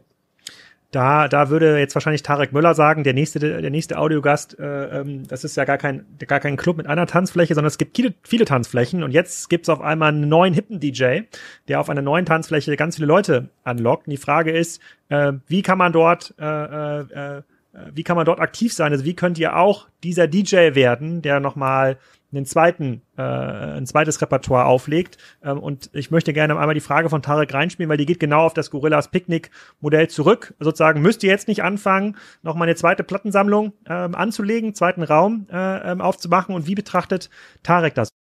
Also der Hauptpunkt, den ich gerne diskutieren würde mal mit ihm, ist sozusagen die Frage, wann eigentlich ein sinnvoller Zeitpunkt ist, ein Geschäftsmodell à la Picknick oder äh, sonstige digitale Geschäftsmodelle sozusagen anzugehen. Ähm, da sagte er ja im Podcast, ähm, naja, ist das denn überhaupt profitabel, was Picknick da macht? Und ähm, wir warten jetzt erstmal ab, so habe ich das jetzt zumindest verstanden, und schauen uns das an und gucken mal, ob dieses Geschäftsmodell überhaupt profitabel ist, weil irgendwie ein defizitäres Geschäftsmodell für uns zu starten, macht ja keinen Sinn. So, das kann ich zu 100 Prozent, zu 100 nachvollziehen. Und ich glaube auch wirklich nicht, dass alles, was digital ist, jetzt irgendwie gut ist und nicht alles, was Gold ist, ist ähm, glänzt. Nur, ich glaube, was man, was man wissen oder was man im Hinterkopf haben muss bei digitalen Geschäftsmodellen ist, ähm, das hast du ja, Alex, versucht kurz mit diesen Unit Economics zu erklären, aber ist sozusagen, viele digitale Geschäftsmodelle erfordern eine gewisse Skalierung sozusagen. Und gerade ein Geschäftsmodell wie Picknick, so was, was halt einen sehr hohen quasi sprungfixe Kosten hat, erfordern eben eine gewisse Skalierung, bis sie eben profitabel sind. Ähm, und man hat eben am Anfang im Prinzip eine Organisation, die man aufbaut, die sozusagen in, einem, in so einer Art Fixkostenrelation quasi überproportioniert ist zu dem, was man eben an Geschäft hat und dann über eine Fixkostendegression letztendlich relativ zum Umsatz sozusagen runterläuft. Ähm, und man hat eben die Neukundenakquise, die gerade bei neu, neuen Geschäftsmodellen eben oft relativ hoch ist, weil man den Kunden erstmal überzeugen muss, dort einzukaufen. Und dann hat man aber eben relativ äh, günstige organische Wiederkaufquoten. So, das bedeutet eben auf eine Bilanz bezogen ist es oft so, dass digitale Geschäftsmodelle eben hochdefizitär sind, dann äh, jedoch eben äh, ein hohes Wachstum aufweisen ähm, und eben in die Profitabilität reinarbeiten. Einerseits durch eine Fixkostendegression, die quasi skalenbedingt ist, dann durch eine Degression der relativen Marketingkosten, die dadurch bedingt sind, dass man immer ähm, mehr Bestandskunden aufbaut sozusagen und die halt in sich profitabel ähm, sind und die Neukundenakquise, ähm, die in der Regel äh, zunächst einmal defizitär ist auf die Ersttransaktion eben relativ zum Umsatz eben runterläuft. Und das dritte sind sozusagen Skaleneffekte in der ganzen Operationskette, ähm, wo, wo man durch sozusagen die äh, sprungfixen Kosten, die, die ein Picknick sicherlich hat, sozusagen, ähm, dann eben relativ zum Umsatz eben runterlaufen. Und so läuft man dann eben in eine gewisse Profitabilität rein. Man sagt ja so als Faustregel irgendwie fünf bis sieben Jahre, bis ein E-Commerce-Modell überhaupt profitabel sein kann. Der Punkt ist nur, ich glaube, der Blick einfach nur auf ein Picknick und zu sagen, naja, die sind ja defizitär, deswegen ist das Geschäftsmodell Murks, greift ein bisschen zu kurz. Das ist der gleiche Fehler, den viele früher bei Zalando gemacht haben, gesagt haben, das ist ein Geschäftsmodell, was ich nie tragen kann, sieht man ja daran, dass die Verluste machen. So, dann sind sie irgendwann in die Gewinnzone gekommen und heute sieht man ja, dass das ein sehr profitables Geschäft sein kann, eben ein Zalando und möglicherweise eben auch ein Picknick. Das Problem ist nur, wenn man sagt, man wartet diesen Zeitpunkt ab, dass es dann eigentlich zu spät ist, beziehungsweise die Kosten, so ein Geschäftsmodell zu starten, eben noch höher sind. Warum? Weil man letztendlich einmal auf der Oper Operationskette letztendlich irgendwie sieben Jahre Rückstand hat quasi, also die Lernkurven und die Marktentwicklung, die ein Picknick durchlaufen hat, muss man auch durchlaufen, nur dass der Kunde es dann schon erwartet. Ja, also Picknick hat ja das Glück, niemand erwartet mehr als das, was Picknick leistet, weil Picknick letztendlich die Erwartung setzt. Der nächste, der in den Markt kommt, der muss ja im Grunde genommen gleichziehen mit der mit der Leistung, die ein Picknick heute bringt. Das heißt quasi die Vorfinanzierung der Operationskette und diese, diese sozusagen sprungfixen Kosten, die werden immer höher, dadurch, dass der Standard dessen, was man eben einem Kunden bieten muss, immer höher wird. Der zweite Grund, warum quasi das immer teurer wird mit mehr Zeit, ist die Neukundenakquise. Picknick greift sich jetzt sozusagen und mal stehen für alle Geschäftsmodelle, die mit einem neuen Geschäftsmodell ankommen, genauso in Zalando kann man auch andere Beispiele nennen, greifen sich ja sozusagen die Early Adapter ab und greifen sich quasi die Kunden ab, die sowieso offen sind dafür. Und selbst die muss man vorfinanzieren und sind nicht in der Ersttransaktion profitabel. Als Zweiter oder Dritter hat man die Problematik, dass diese Kundengruppe jetzt schon mit hoher Wahrscheinlichkeit eine Loyalität gegenüber Picknick aufgebaut hat. Die Wechselkosten auf einen anderen Anbieter sind eben deutlich höher als letztendlich jemanden davon zu überzeugen, überhaupt ein digitales Modell zu ähm, nutzen, ist oft günstiger, als jemanden von einem gut funktionierenden Player wie Picnic eben dann auf ein DM-Picknick sozusagen zu ziehen. Das heißt, die Marketingkosten werden höher, getrieben durch höhere Neukundenakquise, als es ein Picknick hatte. Die Operations-Vorfinanzierung wird höher. Ähm, und auch die Organisation wird wahrscheinlich schwieriger aufzubauen, weil auch da sozusagen Picknick den Benchmark setzt. Was ich damit sagen will, ist, man kann natürlich abwarten, ähm, oh, ähm, bis dann in fünf, sechs, sieben Jahren möglicherweise ein Picknick profitabel ist und dann sagen, na gut, okay, stimmt, es ist doch ein Geschäftsmodell, was sich trägt und was skalieren kann. Und jetzt fangen wir damit an. Man muss sich nur darüber im Klaren sein, dass es dann wahrscheinlich das Doppelte oder Dreifache kosten wird von dem, was es ein Picknick gekostet hat, um den gleichen am Ende des Tages auf eine gleiche Skalen zu kommen und äh, in die Profitabilität. Auch ein DM wird nicht von Anfang an profitabel sein, weil die Profitabilität eines Geschäftsmodells wie Picknick nicht davon abhängt, ob das Geschäftsmodell in sich tragfähig ist, sondern eben diese Skalen eben bedingt. So, das heißt, wenn jetzt ein Picknick es schafft, keine Ahnung, sagen wir mal auf eine Milliarde Umsatz zu skalieren und dabei irgendwie 500 Millionen Kapital benötigt, ja, in diese drei Posten, ähm, Fixkosten, sprungfixe Kosten in Operations und Marketing, dann wird ein DM wahrscheinlich in fünf Jahren ähm, mindestens das Doppelte oder Dreifache an Kapital benötigen würden, um diese eine Milliarde aufzubauen. Ja, das heißt, ich glaube, man, der, der, die Frage, ob ein Geschäftsmodell nachhaltig profitabel sein kann, ist die richtige. Ich würde nie einem Konzern empfehlen, mit einem funktionierenden, profitablen Geschäftsmodell in, in ein strukturell defizitäres Online-Geschäft zu gehen. Macht ja gar keinen Sinn. Da bin ich ja total ähm, dabei. Aber ich glaube, der Blick auf die Bottomline reicht dafür nicht, um zu, zu hinterfragen, ob etwas strukturell defizitär ist oder vielleicht eher skalenbedingt defizitär. Und ich würde eben DM empfehlen, zu gucken, ist das eigentlich strukturell oder skalenbedingt defizitär? Da kann man ja unterschiedliche Meinungen haben, aber ich glaube, man muss diese Übung einmal machen. Weil wenn man das Gefühl hat, die sind ähm, skalenbedingt defizitär und nicht strukturell, dann heißt das, man wird in fünf oder sechs Jahren zur Erkenntnis kommen, dass es eigentlich gut und dann wird es das Dreifache kosten. Und dann stellt sich ja schon die Frage, ob man da nicht ein bisschen früher loslegen sollte, im Grunde genommen diese alternativen Geschäftsmodelle zu diesem ganz klassischen DM.com sozusagen Online-Shop eben auch anzugehen. Ja, einfach um letztendlich Geld zu sparen beim Aufbau, aber auch um letztendlich eben ja, äh, schneller mehr Skalen aufzubauen. So, sehr lange äh, ähm, Session. Äh, also, um in deiner Metapher zu bleiben, äh, der DJ Picknick ist sehr erfolgreich und holt die Leute auf die Tanzfläche und je später du die Picknickmusik startest auf der nächsten Tanzfläche, desto teurer wird. So, ich hoffe, ich habe die Metapher halt, ich habe sie jetzt nicht über, ich habe sie nicht überstresst, ist jetzt meine Hoffnung, aber ich glaube, da sind wir schon drüber hinaus. So, also Tarek sagt, ähm, hilft alles nichts, auch wenn man Fremdkapital braucht, musst du trotzdem machen, sonst wird's zu teuer. Was sagst du? Ja gut, ich meine, er, er spricht da ja viele unterschiedliche Dinge an. Ne? Er spricht einmal von den Skaleneffekten, er spricht von der Kundenloyalität, er spricht auch von den von den Zeitpunkten, ähm, äh, unterschiedlichen Zeitpunkten. Ich glaube, äh, also vielleicht müssen wir es ein bisschen abschichten, ne, um uns, um uns da mal durchzuarbeiten, was er gesagt hat. Ähm, äh, prinzipiell, was er sagt, was er sagt, ist, ist nicht verkehrt. Ne? Äh, man muss unterscheiden, äh, ob etwas äh, äh strukturell ähm, äh, defizitär ist und deswegen die Skaleneffekte auch nicht zu einer Profitabilität äh, beitragen können, äh, oder ob es äh, zeitpunktbezogen ist aufgrund von sprungfixen Kosten äh, äh, und äh, es deswegen in die äh, Gewinnzone äh, kommen kann, wenn entsprechend äh, Last auf das System kommt. Ähm, jetzt glaube ich allerdings, äh, dass äh, man, man aufpassen muss, ne, weil äh, die, die, die, die Stückerträge in den unterschiedlichen Branchen des Einzelhandels äh, unterscheiden sich deutlich. Das heißt also im Textilbereich oder jetzt auch, äh, also sagen wir im Fashion-Bereich oder auch alles, was, was Düfte anbelangt, das sind die Stückerträge sehr, sehr viel höher als in anderen Bereichen. Äh, Lebensmittel sind sie nicht so hoch, aber auch in den Drogerie-Sortimenten, die wir jetzt äh, bei DM Drogeriemarkt führen, sind die Stückerträge nicht so hoch als ähm, die wie bei den Artikeln, die von den genannten sehr erfolgreichen Online-Händlern auch verkauft werden. Ne? Also wenn Sie mal jetzt ein Otto nehmen ne? oder wenn Sie wenn du auch ein, ein Amazon nimmst, ne, äh, die ja in diesen in diesen äh, FMCG-Kategorien äh, bisher auch noch nicht den Durchbruch gehabt haben, ja, oder oder ein Zalando, welches ja welcher vor allem im Fashion-Bereich unterwegs ist ne? und auch nicht in den Kategorien, äh, wo, wo jetzt wir unterwegs sind. Also da, da muss man schon mal unterscheiden. Nämlich letzten Endes ist ja die Frage, was ist denn die, was ist denn die Kostenstruktur, die ich habe? Und da ist es so, dass ich im stationären Einzelhandel ähm, mit wesentlich mehr Fixkosten arbeite ähm, als im, als im Onlinehandel. Im Onlinehandel sind die variablen äh, Kosten äh, in der Tendenz wesentlich höher. Und wenn ich höhere variable Kosten habe, dann bedeutet es, dass, diese, dass dieser Effekt der Stückkostendegression weniger ausgeprägt ist.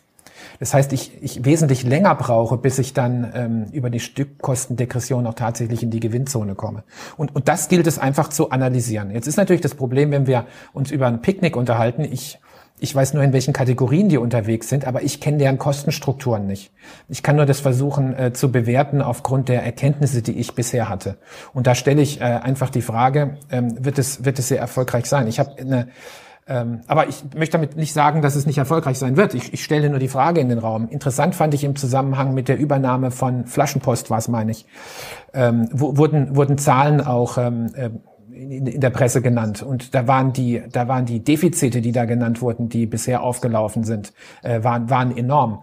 Andererseits muss man sagen, der, der, das Unternehmen, welches Flaschenpost gekauft hat, hat offensichtlich ein Riesenpotenzial da drin gesehen. Deswegen waren die bereit, da richtig viel Geld auf den Tisch zu legen. Wobei man natürlich nicht vergessen darf, die wollen das ja nicht standalone weiterführen, sondern sehen da Synergieeffekte äh, zu ihrem bestehenden Geschäftsmodell. Ne? Insofern ist also der Kaufpreis, der dafür bezahlt wurde, nicht indikativ für das Ertragspotenzial, welches jetzt beispielsweise ein Flaschenpost als Standalone-Business gehabt hätte. Ist also schwierig zu beurteilen. Jetzt zu der zu der Frage, ähm, äh, weil er jetzt von Kundenloyalität noch gesprochen hat. Also er geht offensichtlich davon aus, dass wenn man sich einmal entschieden hat für so einen An Anbieter, dass man dann loyal bleiben würde. Was wir beobachten können im Einzelhandel ist, dass Kunden eben nicht so sehr loyal sind, ja, sondern dass Kunden äh, doch eher bereit sind zu wechseln und mal was Neues auszuprobieren, weil sie sich ja in der Regel vertraglich nicht groß binden. Es mag sein, dass das Geschäftsmodell vielleicht äh, bei dem Picknick oder was ist, dass man, dass man da ein Abo hat und, und damit einen gewissen Login-Effekt hat. Äh, aber das lässt sich letzten Endes ja dann auch kopieren. Und ähm, insofern äh, würde ich mal würde ich mal einfach die Frage stellen, ob das wirklich so ist, dass dann dass dann Login der der ersten Kunden stattfindet, die dann äh, dem Geschäftsmodell gegenüber loyal bleiben, so dass die Marketingkosten für die Neuakquise sich reduzieren. Den dritten Punkt, den er genannt hat, äh, war Zeitpunkt. Und wenn ich ihn recht verstehe, ähm, hat er hat er die Einschätzung, dass er sagt, ja, ich habe sozusagen so so viel Vorsprung schon in der Art und Weise, der, also in der Expertise, die ich brauche, um so ein Geschäftsmodell äh, zu äh, betreiben, dass wenn ich später ein, einsteige, ich in der Lernkurve so weit hinten bin, dass ich, dass es mir überhaupt nicht mehr gelingt, die Skaleneffekte zu, zu realisieren. Ich würde mal sagen, ähm, theoretisch ja, durchaus. Also die, die, dieser Gedanke ist, ist gut nachvollziehbar. Ich habe, ich habe eine Erfahrung gehabt, die mir genau das Gegenteil gezeigt hat. Und ich glaube, äh, es ist auch in Ordnung, da so offen drüber zu reden, weil es schon lange her ist. Und zwar äh, war das die Firma Schlecker.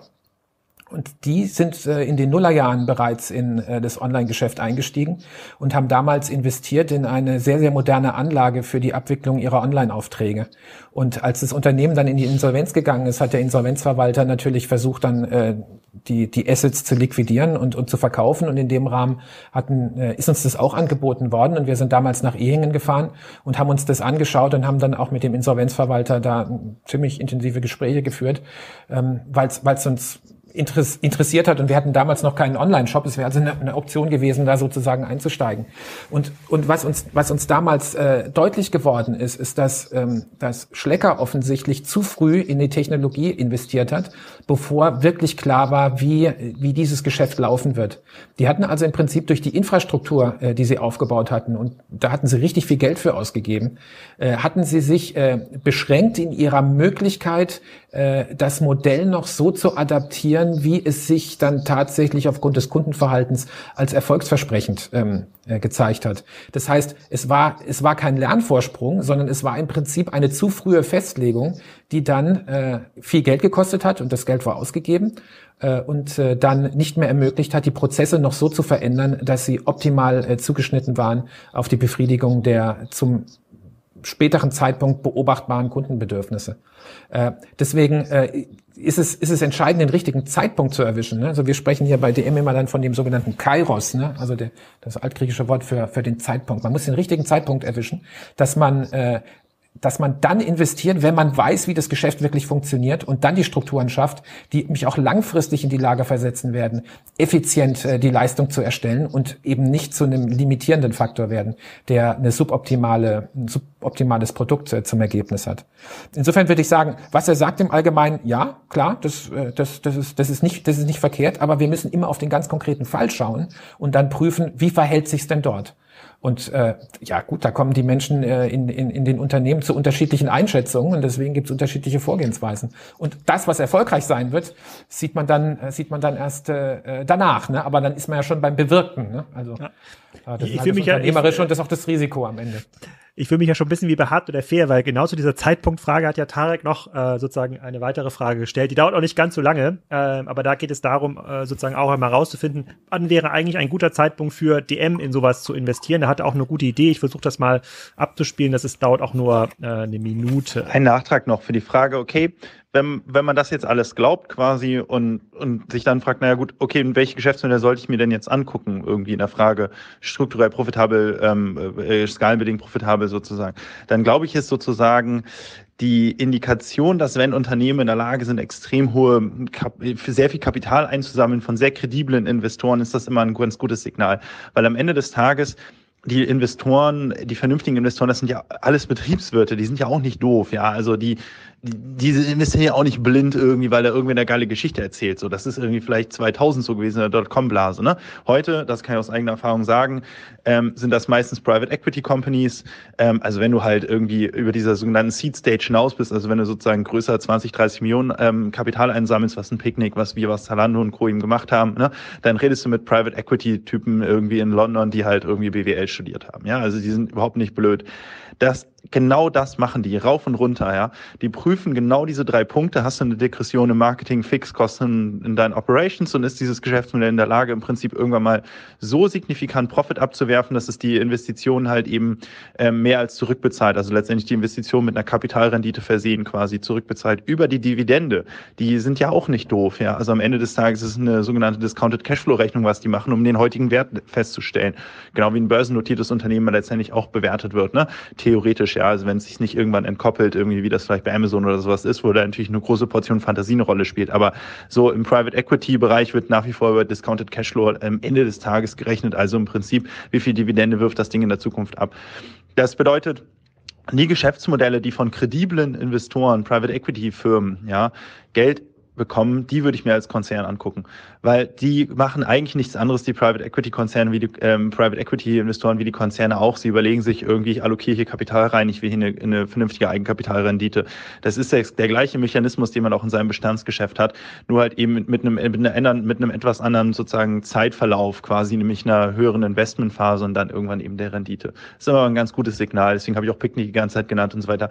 Ich würde als Konzern zum Beispiel nie zu kleine Unternehmen anschauen. Ich würde letztendlich irgendwie, weil da so viel Bullshit drin und da so wenig Zahlenbasis drin letztendlich, ja, diese ganzen Early-Stage-Geschichten würde ich mal den Venture Capitalist überlassen, die investieren nämlich in Fantasie und Team und so weiter. Und dann irgendwie, wenn, wenn quasi ein Unternehmen im eigenen, in der eigenen Industrie unter Finanzierungsrunden dreht, die größer 30, 40 Millionen sind und von krediblen Private Equity Firmen sind die Geschäftsmodelle, würde ich mir angucken, da ist eine hohe Wahrscheinlichkeit, dass sie eigentlich für einen Konzern relevant sind und dass der Konzern eh fünf, sechs, sieben Jahre später eigentlich erkennen würde, Mist ist profitabel, strukturell profitabel und muss sich irgendwie auch machen. Ja? Und da kann man sich einfach einen Shortcut nehmen, glaube ich. So, also, Zeitpunktfrage. Jetzt weiß ich natürlich nicht, äh, Flaschenpost wurde jetzt natürlich von einem Konzern ähm, ähm, übernommen. Jetzt weiß ich nicht, ob in der kolportierten Runde für, Runde für Gorillas, ob da Private Equity Investoren drin sind, aber vielleicht grundsätzlich die Frage, hältst du es für schlau, quasi dein Investitionszeitpunkt, egal ob du was kaufst oder in ein neues Geschäft ähm, ähm, investierst, in den Aufbau, alignst so mit den Investitionszeitpunkten von Private Equity Unternehmen? Gut, es sind jetzt ja mehrere äh, Gesichtspunkte, unter denen man das anschauen kann. Ne? Die, die eine Frage ist Make or Buy, äh, wenn es darum geht, äh, dass man beispielsweise ein Online-Geschäft aufbaut. Also möchte ich das äh, aus, der, aus, den, aus der eigenen Kraft machen, mit, der, mit, der, mit einer eigenen Mannschaft, oder möchte ich äh, da ein Geschäftsmodell, welches äh, bereits äh, eine gewisse, einen gewissen Entwicklungsweg genommen hat, äh, akquirieren und, äh, und damit äh, zum Unternehmen dazunehmen? Ähm, und äh, die, der andere Gesichtspunkt schien mir, den er angesprochen hat, ne, ist, äh, dass, äh, dass, dass Investoren ähm, ja sich Geschäftsmodelle auch sehr, sehr gut anschauen und äh, dass deswegen so eine gewisse Selektion stattfindet zwischen guten Ideen und schlechten Ideen. Ähm, Fangen wir mal mit dem, mit dem letzten Punkt an. Also gute Ratgeber zu haben, ist, ist immer hilfreich. Ne? Äh, ich kann sagen, wir bei DM äh, lösen das nicht zuletzt auch durch unseren Aufsichtsrat. Ne? Äh, unsere, unsere Aufsichtsräte, die wir haben, äh, sind, sind äh, für mich auch äh, unheimlich wichtige ähm, Ansprechpartner. Äh, vor allem der Gesichtspunkt Rat, ne, den man da bekommen kann, äh, das, das, das hilft, hilft ungemein. Ne? Jetzt aber zur Frage, ähm, solche, solche, ähm, solche äh, Unternehmen dann aufzukaufen oder nicht. Ähm, und ich glaube, es kommt jetzt darauf an, wie, wie, du drauf schaust. Ne? Schaust du so drauf, dass du sagst, es geht mir drum, dass ich da äh, ein Geschäftsmodell ähm, akquiriere, welches äh, mir, äh, von dem ich mir Zukunftsfähigkeit verspreche. Und jetzt geht es einfach um, dass ich diesen, diesen Leistungsprozess äh, mir, mir, mir äh, ins Unternehmen hole. Oder schaust du so drauf, dass du sagst, naja, so so ein Unternehmen, ähm, was ja eine, was ja eine Arbeitsgemeinschaft ist. Ne? Also sind viele Menschen, die zusammenarbeiten, unterschiedliche Qualifikationen, die es gibt, äh, äh, auch Prozesse in der Zusammenarbeit, äh, die notwendig sind, dass so eine Leistungserstellung, die für den Kunden attraktiv und erschwinglich ist, äh, auch erstellt werden kann, dass sich die immer weiterentwickelt. Und da kann ich, kann ich, äh, und, und da würde ich sagen, für beide, für beide ähm, für beide Zugehensweisen gibt es, gibt es äh, Beispiele ne? und sicherlich auch gute Gründe. Äh, letzten Endes muss man sich fragen, wie, wie, möcht, wie möchte man, was hält man für, für, für wichtig? Ne? Und da kann ich dir jetzt sagen, wie ich drauf schaue. Und zwar denke ich, eine der größten Herausforderungen, die wir als Arbeitsgemeinschaft haben, ist, dass wir äh, in der Lage sind, ähm, uns immer uns permanent so zu verändern, dass die Leistung, die wir erstellen, für unsere Kunden äh, nicht nur heute relevant bleibt, sondern auch noch morgen relevant sein wird und übermorgen. Ähm, das heißt, dass wir als, als Unternehmen innovationsfit bleiben in der Art, wie wir Zusammenarbeit gestalten. Und da ist natürlich eines der besten Möglichkeiten, diesen Muskel zu trainieren, wenn wir neue Projekte angehen. Wie beispielsweise so etwas, dass wir sagen, wir wollen jetzt auch äh, ähm, im, im Online-Bereich äh, eine, eine, eine Leistung generieren, die für unsere Kunden relevant ist. Ne? Wie als wir dann äh, uns entschieden haben, 2014 äh, das Projekt zu starten, um dann im Juli 2015 äh, dann auch tatsächlich unseren Online-Shop zu lancieren. Ne? Oder wenn wir sagen, wir wollen etwas machen wie Click and Collect, dass wir da sagen, gut, da entwickeln wir unsere Systeme jetzt weiter. Also die, die Herausforderung jetzt mal grundsätzlich in dem Unternehmen ist, dass der Muskel Innovationsfähigkeit permanent trainiert wird. Weil wenn man, wenn man das nicht mehr macht, dann, dann baut der sich ab und das Unternehmen sklerotisiert. Also das, das erstarrt sozusagen äh, und ist nicht mehr veränderungsfähig und wird dann in der Leistung für die Kunden irrelevant und verschwindet vom Markt. Und äh, das ist nochmal ein, ein grundsätzlicher strategischer Gesichtspunkt im Hinblick auf Make or Buy. Ähm, also mit anderen Worten, wenn es etwas ist, was nah am Kern unserer Leistung ist, ist unsere bisherige Erkenntnis bei dem Drogeriemarkt gewesen, lass uns äh, in, in Projektarbeit mit, mit den Menschen, die wir haben, äh, diese Projekte angehen. Natürlich kommen dann auch neue Menschen dazu, die man braucht, vielleicht Qualifikationen, die es noch nicht gibt, aber vor allem auch an der, an der, an der innerbetrieblichen Weiterqualifikation äh, zu arbeiten, um damit diese Innovationsfitness uns zu erhalten. Und ähm, jetzt muss ich sagen, wenn wir auf Onlinehandel schauen und äh, und, und wir zu der Erkenntnis kommen, dass die Zukunft des Handels Omnichannel Retailing ist.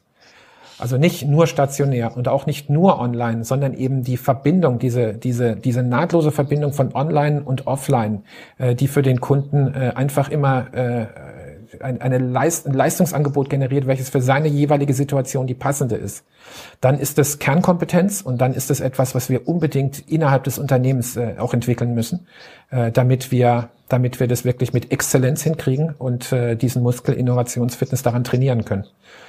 Aber es gibt andere Unternehmen, die da ganz andere Wege gehen. Das möchte ich, möchte ich auch, äh, möchte ich auch konzidieren und die da auch nicht äh, unerfolgreich mit sein müssen ähm, gerade durch die Presse beispielsweise. Ähm, gestern habe ich es in der Lebensmittelzeitung gelesen, dass jetzt äh, real.de ja zu Kaufland geht äh, und da, da wird, wird es dann offensichtlich äh, ins Unternehmen reinge reingenommen. Ich denke, die, die Menschen bei, bei Kaufland werden sich das sehr genau überlegt haben und werden da sehr gute Gründe haben, dass sie das, dass sie das so machen und ähm, vielleicht werden die auch damit erfolgreich sein.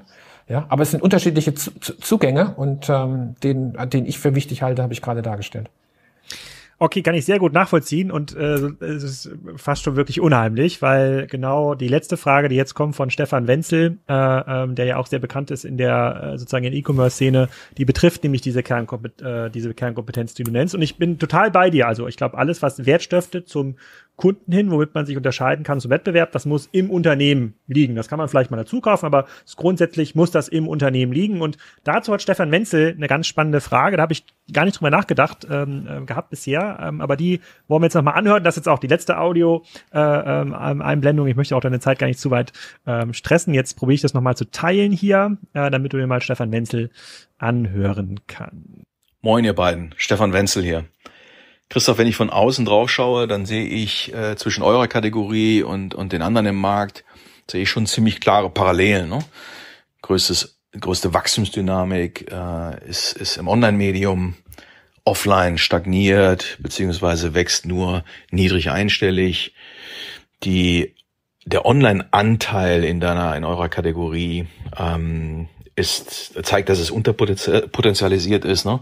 Wenn du nach England schaust, ist der Anteil doppelt so hoch und äh, die Wachstumsdynamik weiterhin äh, zweistellig. Und Amazon UK hat schon äh, Boots online äh, abgehängt. Also da, da bewegt sich, da bewegt sich einiges äh, tektonisch. Ähm, und das heißt, wenn man das jetzt zu Ende denkt, dass es nur eine Frage der Zeit ist, wann im Grunde der, das Leitmedium, wenn man so möchte, auch bei euch, ähm, das Mobiltelefon äh, wird. So, und in einer Direct-to-Consumer Online-Welt ist CRM letzten Endes ja, ja wahrscheinlich die Achillesferse. Also gelingt es mir nicht, und gerade bei niedrigen Warenkörben, ne, gelingt es mir nicht über gute Wiederkaufsquoten und äh, degressive Marketingkostenentwicklungen, gelingt es mir nicht, ein Customer Lifetime Value so zu optimieren, dass ich ne, ein vernünftiges Ergebnis auf meine Akquisitionskosten ähm, äh, oben drauf sattel, dann habe ich kein Geschäft. So, wenn also CRM die Killer-Applikation ist, die Achillesferse, dann will man das natürlich komplett äh, ownen. Das ist ja, das ist ein Differenzierungsmoment, ja. Ähm, das ist wie der Ladenbau und äh, das Store-Personal äh, in der Offline-Welt.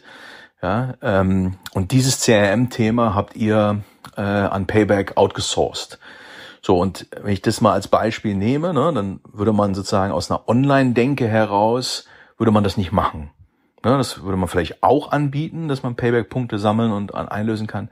Aber man würde wahrscheinlich immer dazu tendieren, ein vernünftiges eigenes CRM aufzubauen, damit man tatsächlich diese Kundenbeziehungen, äh, damit man die äh, pflegen, entwickeln und natürlich monetarisieren kann. Ne, denn alleine auch das Thema Store Traffic ne, wird ja nur dann sozusagen zu einem echten Kundenzugang, wenn ich irgendwie den Kunden datenseitig äh, an mich binden kann. So, und ähm, du hast in dem Podcast gesagt, dass deine Strategie ähm, darauf basiert, dass die gesamte Company, also alle x hunderte, tausende Mitarbeiter, ähm, jetzt auch darüber nachdenken, wie sie das, was sie offline machen, dann auch online sozusagen verlängern können. Und das ist ja ne, also aus meiner Sicht ne, ne, ist, ist, ja, ein sehr anderer Ansatz. Ähm, und das ist ja erstmal eine, eine Hypothese, ne, dass das gelingen kann. Und ähm, meine Frage ist, Äh, welche Metriken schaust du dir an? Welche Entwicklungen, welche Meilensteine, welche Anteile? Was schaust du dir an, um zu überprüfen, ähm, dass der Weg aus einer Offline-Organisation heraus online sozusagen zu konzipieren und, und äh, wettbewerbsdifferenzierende, wettbewerbsfähige Ansätze zu entwickeln, dass der funktioniert. Was schaust du dir konkret an und was muss passieren, damit du im Zweifel ähm, einen anderen Weg einschlägst? Vielen Dank. Lange Frage von Stefan, aber eine sehr gute äh, finde ich auch. Also was guckst du dir tatsächlich an und äh, wie stark kann man das Thema ähm, CRM auch äh, inhausen? Dazu sei auch gesagt, äh, Payback war jetzt die letzten drei Jahre auch ein zentraler Partner von, äh, von Kassenzone und hat ganz viel auch für Kassenzone ähm, gemacht. Ich habe mich mit dem Thorsten Hautmann von Payback auch viel unterhalten. Da gibt es ja äh, äh, wirklich auch ganz spannende Optionen in diesem Toolset. Ähm, Stefans Meinung ist aber, hey, das gehört genau zu dieser Kernwertschöpfung, über die wir vorher gesprochen haben. Ähm, kann man das eigentlich an einen externen Partner auslagern oder muss man da nicht einen großen Teil inhausen? So, jetzt bist wieder du dran. Ja, also was, was Stefan Wenzel ja sagt, wenn ich ihn richtig verstanden habe, äh, ist, dass er, er hat zwei, zwei Annahmen, die er hier trifft. Das eine ist, dass CRM ähm, in der Online-Welt ähm, jetzt wichtig wird. Ähm, wo, wobei ich ihn jetzt so verstanden habe, dass er glaubt, dass in der stationären Welt CRM nicht so wichtig gewesen wäre. Ja, ähm, ich glaube, zu der, zu der Haltung kommt er, äh, wenn ich ihn recht verstehe, ist, weil er sagt, das mobile Endgerät wird äh, sozusagen der Zugang sein, äh, der, der natürlich nicht mehr die, die, die geografische Nähe jetzt äh, von einem stationären Geschäft zu dem jeweiligen Kunden äh, äh mit berücksichtigen muss. Ne? Also, also, wenn ich recht verstehe, sagt er, also CRM ist, ist, wird jetzt vor allem in der Online-Welt äh, relevant. Und die, die zweite Annahme, die er trifft, ist, dass er, dass er sagt, wir hätten äh, unser CRM ausgelagert an Payback. Ja. Hm? So, und ähm, da würde ich jetzt mal sagen, die, mit diesen zwei Annahmen bin ich schon, bin ich schon nicht einverstanden. Ne? Äh, und zwar äh, erstens, CRM ist nicht nur äh, in der Online-Welt relevant, sondern ist schon in der stationären Welt relevant gewesen. Ähm, warum? Weil letzten Endes äh, geht es ja drum, äh, ist, ist ja die Realität, dass ein Kunde sich immer wieder neu entscheiden kann, wo er einkaufen möchte. Und auch die Drogerieartikel äh, kann der Kunde außerhalb von Drogerien erwerben im stationären Geschäft. Äh, also äh, wenn, wenn Lebensmittel gekauft werden äh, in einem Supermarkt, können dort auch Drogerieartikel mitgenommen werden. Und jetzt ist die Frage, warum soll ein Kunde denn, wenn es doch so bequem ist, das gleich beim Lebensmitteleinkauf, der ja in einer höheren Frequenz auch stattfinden muss, aufgrund der, der, der Mindesthaltbarkeitsdaten der erworbenen Ware, ähm, warum sollte er denn noch in den Drogeriemarkt gehen, wenn das andere doch so viel konvenienter ist? Also muss es ja offensichtlich Gründe geben, dass er das macht. Und äh, die Aufgabe jetzt als, als Händler ist es dann äh, für, den, für den Kunden immer wieder ähm, in der Kommunikation über die unterschiedlichen Touchpoints, die es jetzt gibt, sei es jetzt im Laden, aber sei es auch durch die Kommunikation, die den Kunden außerhalb des Ladens erreicht, äh, ihm immer wieder äh, zu zeigen, inwiefern das, was äh, DM äh, jetzt oder, oder der Drogeriemarkt anbietet, für ihn relevant ist äh, weil es äh, eine, eine, eine gute Antwort auf seine Bedürfnisse äh, darstellt. Und das gelingt natürlich auch noch mit einem CRM-System letzten Endes, wenn ich keine Schweinebauchanzeigen einfach ja, als, als Flugblätter abwerfen möchte. Also ich, ich, muss, ich muss den Kunden schon verstehen in, seiner, in seinen Bedürfnissen, um dann für auf ihn zugeschnittene Angebote zu machen. Äh, und mit Angebot meinte ich jetzt nicht nur Sonderangebot, sondern Leistungsangebote.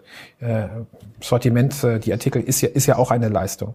Also CRM ist ein Thema, äh, was auch uns schon äh, seit sehr, sehr langer Zeit beschäftigt. Wir haben äh, ja schon seit den 90er Jahren äh, haben wir angefangen auf, auf äh, CRM zu setzen im Sinne von einem Dialogmarketing, äh, welches dann mit der Jahrtausendwende, als äh, dieses äh, bis dahin bestehende Rabattgesetz geändert wurde äh, und dann äh, Payback auch an den Start gehen konnte, das war ja davor gesetzlich nicht möglich, äh, hatten wir schon kultiviert, haben allerdings natürlich dann durch die Ausgabe einer einer, einer Kundenkarte, der der DM Payback-Karte, äh, die Möglichkeit erhalten, auch nochmal das CRM viel weiter zu bringen, weil es dann plötzlich möglich geworden ist, durch die Kundenkarte auch viel besser zu verstehen, was die Kunden denn kaufen, äh, und zwar nicht nur äh, im einzelnen Einkaufsakt, sondern auch im Zeitverlauf.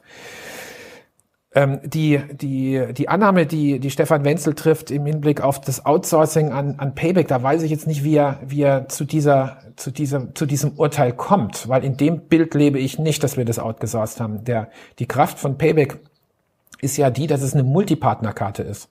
Und jetzt gerade in der Vergangenheit ist es ja so gewesen, äh, als es die als es die mobilen Anwendungen nicht gab, dass äh, die Fächer, die man in seinem Geldbeutel hat, ja endlich sind. Ne? Also da, da hat man seine Kreditkarte drin, ja, und dann hat man auch seinen Personalausweis, der mittlerweile ja auch im Scheckkartenformat ist. Dann hat man in der Regel vielleicht seine Bahncard noch dabei und seine und seine ähm, seine Gesundheitskarte.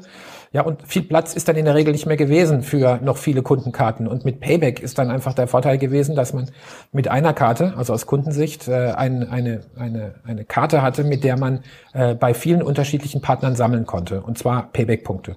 Und das ist natürlich vor allem interessant äh, als Händler, wenn man wenn man Punkte vergibt und jetzt nicht äh, eine Frequenz hat, äh, die, die zu einem wöchentlichen Einkauf äh, den Kunden immer bringt mit hohen Warenkörben, dass man durch ein Zusammenarbeiten mit anderen Payback-Partnern dem Kunden anbieten kann, dass er doch relativ schnell auf ein signifikantes Punktevolumen kommen kann, welches für ihn dann auch einen monetären Vorteil bietet, wenn er diese Punkte einlösen kann.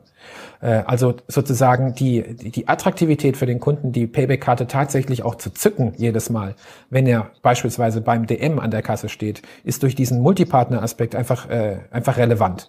Und das war auch der Grund, warum wir damals äh, uns für Payback entschieden haben und uns entschieden haben, keine eigene Karte äh, zu machen. Aber das war jetzt noch äh, Anfang der Nullerjahre äh, in einer Zeit, als äh, Online äh, und, und, äh, und, und Smartphones gab es ja sowieso noch nicht, ähm, noch ganz anders äh, sich dargestellt hat. Jetzt mittlerweile ist es natürlich so, dass es, dass es so eine Kundenkarte kann man auch auf, auf seinem Handy machen und, und das Argument mit den mit den begrenzten Fächern in der, im Geldbeutel, das, das zieht so nicht mehr, auch wenn weiterhin sehr, sehr viele Plastikkarten von Kunden verwendet werden, weil eben nicht alle so technologieaffin sind. Aber das ist eine Frage der Zeit, bis sich das strukturell verändern wird. Und dann ist die Frage, warum ist Payback weiterhin interessant? Und Payback ist halt weiterhin auch interessant, weil ähm, ist ja durch die Tatsache, dass äh, mehrere Partner daran teilnehmen, es nochmal möglich ist, Kunden besser zu verstehen, auch außerhalb ihrer Einkaufsgewohnheiten, nur im eigenen Geschäft.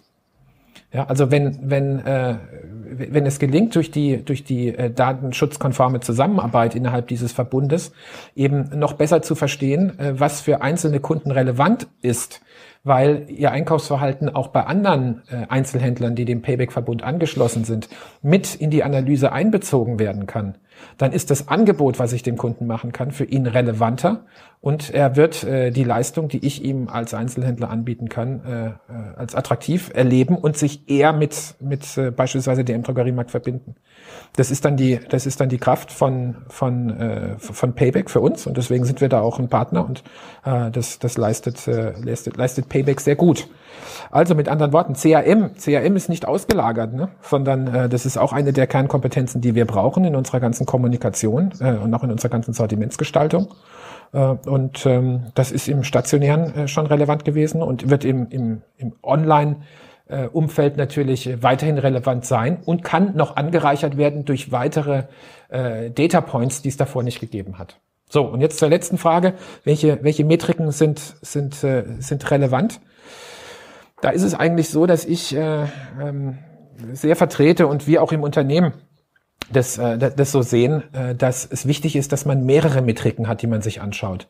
Äh, das, die Gefahr ist, wenn man, wenn man zu wenige hat, ist, dass, dass es ein einseitiges Bild nur der Realität gibt, die ja bekanntlich vielfältig ist. Und äh, es am besten ist, wenn man Metriken hat, die auch nicht alle in die gleiche Richtung ziehen, sondern die eben unterschiedliche äh, unterschiedliche Aspekte versuchen, in eine Ausgewogenheit zu bringen, äh, damit es, damit es stimmig bleibt. Und was natürlich ein ganz wichtiger, wichtiger Gesichtspunkt ist als Einzelhändler, ist, ist natürlich die, die Loyalität der Kunden. Ne? Also sind die, gelingt es mir, äh, bewusst einkaufende Stammkunden äh, immer wieder für DM zu begeistern, so dass sie sich immer wieder neu dafür entscheiden, bei uns einzukaufen. Und das lässt sich natürlich äh, messen, äh, indem man anschaut, welche, wie, wie, wie hoch sind die Ausgaben, die im Zeitverlauf gemacht werden, ne? wie sind die Einkaufsfrequenzen.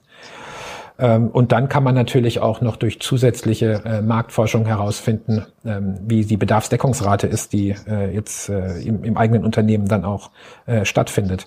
Das sind so die, das sind so die wesentlichen Punkte, die wir, die wir uns auch angucken und, und noch viele weitere. Ja, das schon also, also auf jeden Fall eine sehr vollständige Antwort. Also äh, Payback ist ein Teil des CRM-Systems äh, bei äh, bei DM, aber es ist nicht quasi das komplett ausgelagerte CRM. Ich glaube, das erklärt äh, noch mal eine ganze Menge. Ähm, damit haben wir es auch quasi schon mit externen Fragen. Die waren auch alle sehr gut, fand ich. Das hat das sehr aufgewertet. Wir haben ja vorher besprochen, wir konzentrieren uns auf die ähm, externen äh, Fragen und das Feedback aus der ähm, Community. Vielleicht nochmal zum Abschluss so eins, doch nochmal ein, zwei Fragen von mir. Und zwar, weil es ja schon ein halbes Jahr her ist und äh, äh, seitdem ja auch eine ganze Menge passiert ist bei äh, bei DM. Magst du uns noch so ein, zwei Sachen zur E-Commerce Operation verraten? Weil, also haben die Mitarbeiter, die sich an mich äh, gerichtet haben, recht? Also ist es eigentlich schon ganz ordentlich, was ihr da macht? Äh, ähm, was sind die Erfahrungen mit so einem ähm, spezialisierten B2C-Lager? Kann ich jetzt das Abo, was ich jetzt abgeschlossen habe bei Hakle Online, da lasse ich mir immer das Klopapier in großen Kisten senden, kann ich das jetzt schon effizient bei DM ähm, abwickeln? Also zunächst mal, wie gut sind wir unterwegs? Also ich würde mal sagen, wir, wir strengen uns an und wir sind äh, auch gleichzeitig in unserer Haltung so, dass wir sagen, alles, was wir machen, ist suboptimal. Ne? Also es gibt nichts, was man noch besser machen könnte.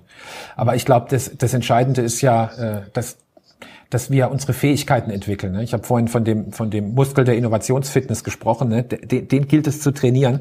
Äh, und, und da sind wir, da sind wir auch äh, ähm, finster entschlossen, da, da, da dran zu bleiben und, äh, und den weiter äh, zu trainieren. Allerdings ähm, dürfen nicht vergessen, der im Drogeriemarkt in Deutschland, das sind über 40.000 Menschen. Ja, und der überwiegende Teil von diesen, äh, von diesen Kolleginnen und Kollegen arbeitet in den DM-Märkten. Ähm, und äh, das, da, das sind ja, das sind ja dort auch Tätigkeiten, die, äh, die, die wirklich erledigt werden müssen. Ja, also äh, die, wenn die Ware kommt, die muss eingeräumt werden. Wenn der Kunde äh, eine Frage hat, äh, gilt es, diese zu beantworten.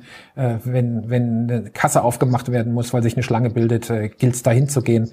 Ähm, also das sind, das sind Abläufe auch, die, die, die klappen müssen und die eine gewisse, eine gewisse Stabilität auch brauchen, damit, äh, damit die Menschen das einfach auch leisten können äh, und sich dabei nicht verbrauchen. Und die, die, die Herausforderung ist, dass jedes Mal, wenn wir mit einer Innovation kommen, natürlich, äh, das für diese, für diese Kolleginnen und Kollegen eine echte Herausforderung ist. Ich gebe mal ein Beispiel. Unser Click-and-Collect-Service, den haben wir zunächst angeboten mit einem, mit einem Lieferversprechen, also Bereitstellungsversprechen kann man auch sagen, von sechs Stunden nach Auftragseingang. Und wir haben das dann reduziert auf drei Stunden. Jetzt kann man sagen, ähm, ja, das ist, macht doch keinen großen Unterschied. Ne?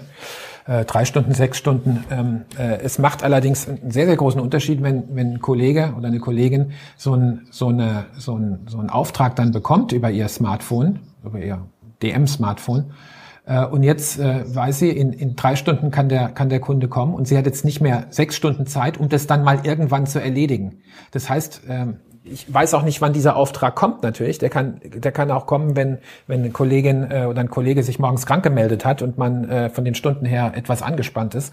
Äh, das heißt, äh, die, Menschen müssen sich in den DM-Märkten dann entsprechend organisieren. Ähm, und äh, das ist das ist nicht zu unterschätzen. Ich glaube, diejenigen, die jetzt hier zuhören, die vielleicht in anderen Einzelhandelsunternehmen äh, arbeiten, die, die können das einordnen, äh, was das für eine Herausforderung ist.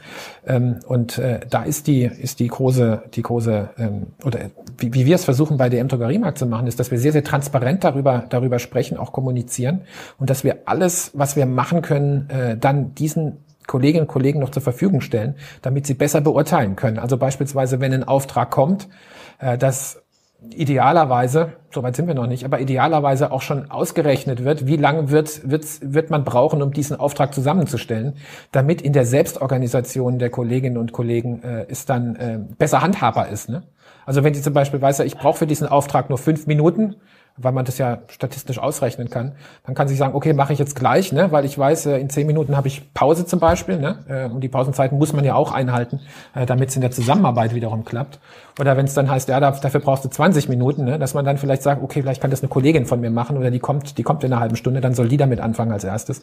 Also gerade in diesem Bereich ist es unheimlich wichtig, dass wir äh, als Arbeitsgemeinschaft nicht in eine Situation kommen, dass die einzelnen Menschen ähm, das Gefühl haben, dass sie am Schwanz des Pferdes hängen, sondern dass sie immer im Sattel des Pferdes bleiben und die Zügel in der Hand behalten können, indem sie die Informationen bekommen, die für sie relevant sind, damit sie die, damit sie gute Entscheidungen treffen können. Und das ist auch nochmal ein Aspekt von Online, äh, über den viel zu wenig gesprochen wird äh, die allerdings für die, für die Exzellenz der Leistung und auch für die, für die Handhabbarkeit und Leistungsfähigkeit der vielen Menschen, die, äh, die, die einfach dann so eine Leistung auch erstellen, ganz entscheidend ist. Und das ist etwas, wo wir bei dem Drogeriemarkt auch äh, viel, viel Energie drauf verwenden, viel, viel dran arbeiten und äh, das ist etwas, da können wir auch noch besser werden. Und noch mal ganz kurz zurück auf die Initiale, also verstehe ich, finde ich auch gut und finde ich auch extrem äh, ähm, honor, honor, honorierenswert. Ähm, magst du noch Erfahrung teilen mit eurem ähm, speziellen Versandlager? Also kann ich da jetzt mein Hakler-Abo äh, umwidmen auf DM? Kann ich da jetzt Klopapier in großen Chargen mir zustellen lassen? Ja, das kannst, das kannst du sowieso, ne? Das kannst du sowieso. Ah, das hat jetzt allerdings nichts mit dem Lager zu tun, ne? Das hat zunächst mal nichts mit dem Lager zu tun. Also ähm, vielleicht mal so grundsätzlich, was ist denn die Herausforderung? Oder ich will es mal so sagen, Alex, es ist ja interessant, wenn wir mal schauen jetzt. Äh, wir sind jetzt ein Jahr, ein Jahr Corona. Ne? Wir haben, wir haben jetzt Ende Februar, ähm, 26. Februar heute, 26. Februar, an dem wir diesen ähm, Podcast aufnehmen. Und äh, es ist ja viel berichtet worden über das Wachstum bei Online. Und ähm, das sind, das sind stattliche Zahlen, ne? meistens zweistellig. Meistens zweistellig. Und ähm, die Frage, die wir uns gestellt haben, und jetzt, ich möchte die Zahlen bei uns nicht nennen, aber wir sind dreistellig gewachsen in der Zeit. Ne? Und die Fragen, die wir uns gestellt haben, auch ist, warum, warum wachsen wir dreistellig, während die anderen nur zweistellig wachsen? Und die Erkenntnis, äh, die, die wir jetzt hatten, da jetzt die Zuhörer, die da Einblick haben, können das dann für sich auch äh, verifizieren oder falsifizieren ist, dass äh, es im Online halt nicht so ist, dass, dass du einfach äh, so viel liefern äh, kannst, wie du willst, sondern du hast da auch deine, deine, deine Drehzahlbegrenzer. Also auch dein, dein Online-Verteilzentrum, welches du hast, äh, hat, hat Grenzen, äh, wie, viel, wie viel ausgeliefert werden können. Das, das hängt mit den Mitarbeitern zusammen. Äh, wie, wie viele Mitarbeiter kannst du überhaupt äh, dann auch noch zusätzlich aufbauen? Sind die überhaupt verfügbar? Aber wie viele können denn auch gleichzeitig kommissionieren? Äh, da gibt es irgendwann noch mal Engpässe. Also diese, diese Infrastruktur ist, ist, ist begrenzt. Und äh, die Hypothese, die ich habe, ist die Tatsache, dass viele, dass die meisten ähm, Online-Händler nur zweistellig gewachsen sind, ist nicht, weil die Auftragslage so war, dass sie zweistellig äh, haben wachsen können, sondern die hätten wahrscheinlich dreistellig wachsen können, wenn sie die entsprechende Infrastruktur gehabt hätten, um äh, ihre Lieferversprechen weiterhin verlässlich einzuhalten und damit auch all die Kunden, die jetzt im Zusammenhang mit Corona zum ersten Mal mit Online in Kontakt getreten sind, mit der, mit dem, mit der Leistung auch so zu begeistern, dass sie zu loyalen Kunden werden, beziehungsweise öfters einkaufen. Was ich allerdings oft auch aus dem Umfeld gehört habe, ist, ah, ich habe das ausprobiert, ja, das, das hat dann zwölf Tage gedauert, bis ich das gekriegt habe, ne? Und dann, dann hat die Hälfte der Artikel gefehlt ähm, lässt sich äh, alles erklären aus der, aus der Struktur heraus, aus der Infrastruktur heraus, ist allerdings ein Kundenerlebnis, was nicht dazu führt, dass die Menschen, die dann einmal äh, eingekauft haben, sagen, das ist in meinem Relevant Set von, von, äh, von Einzelhändlern, wo ich meinen Bedarf decke.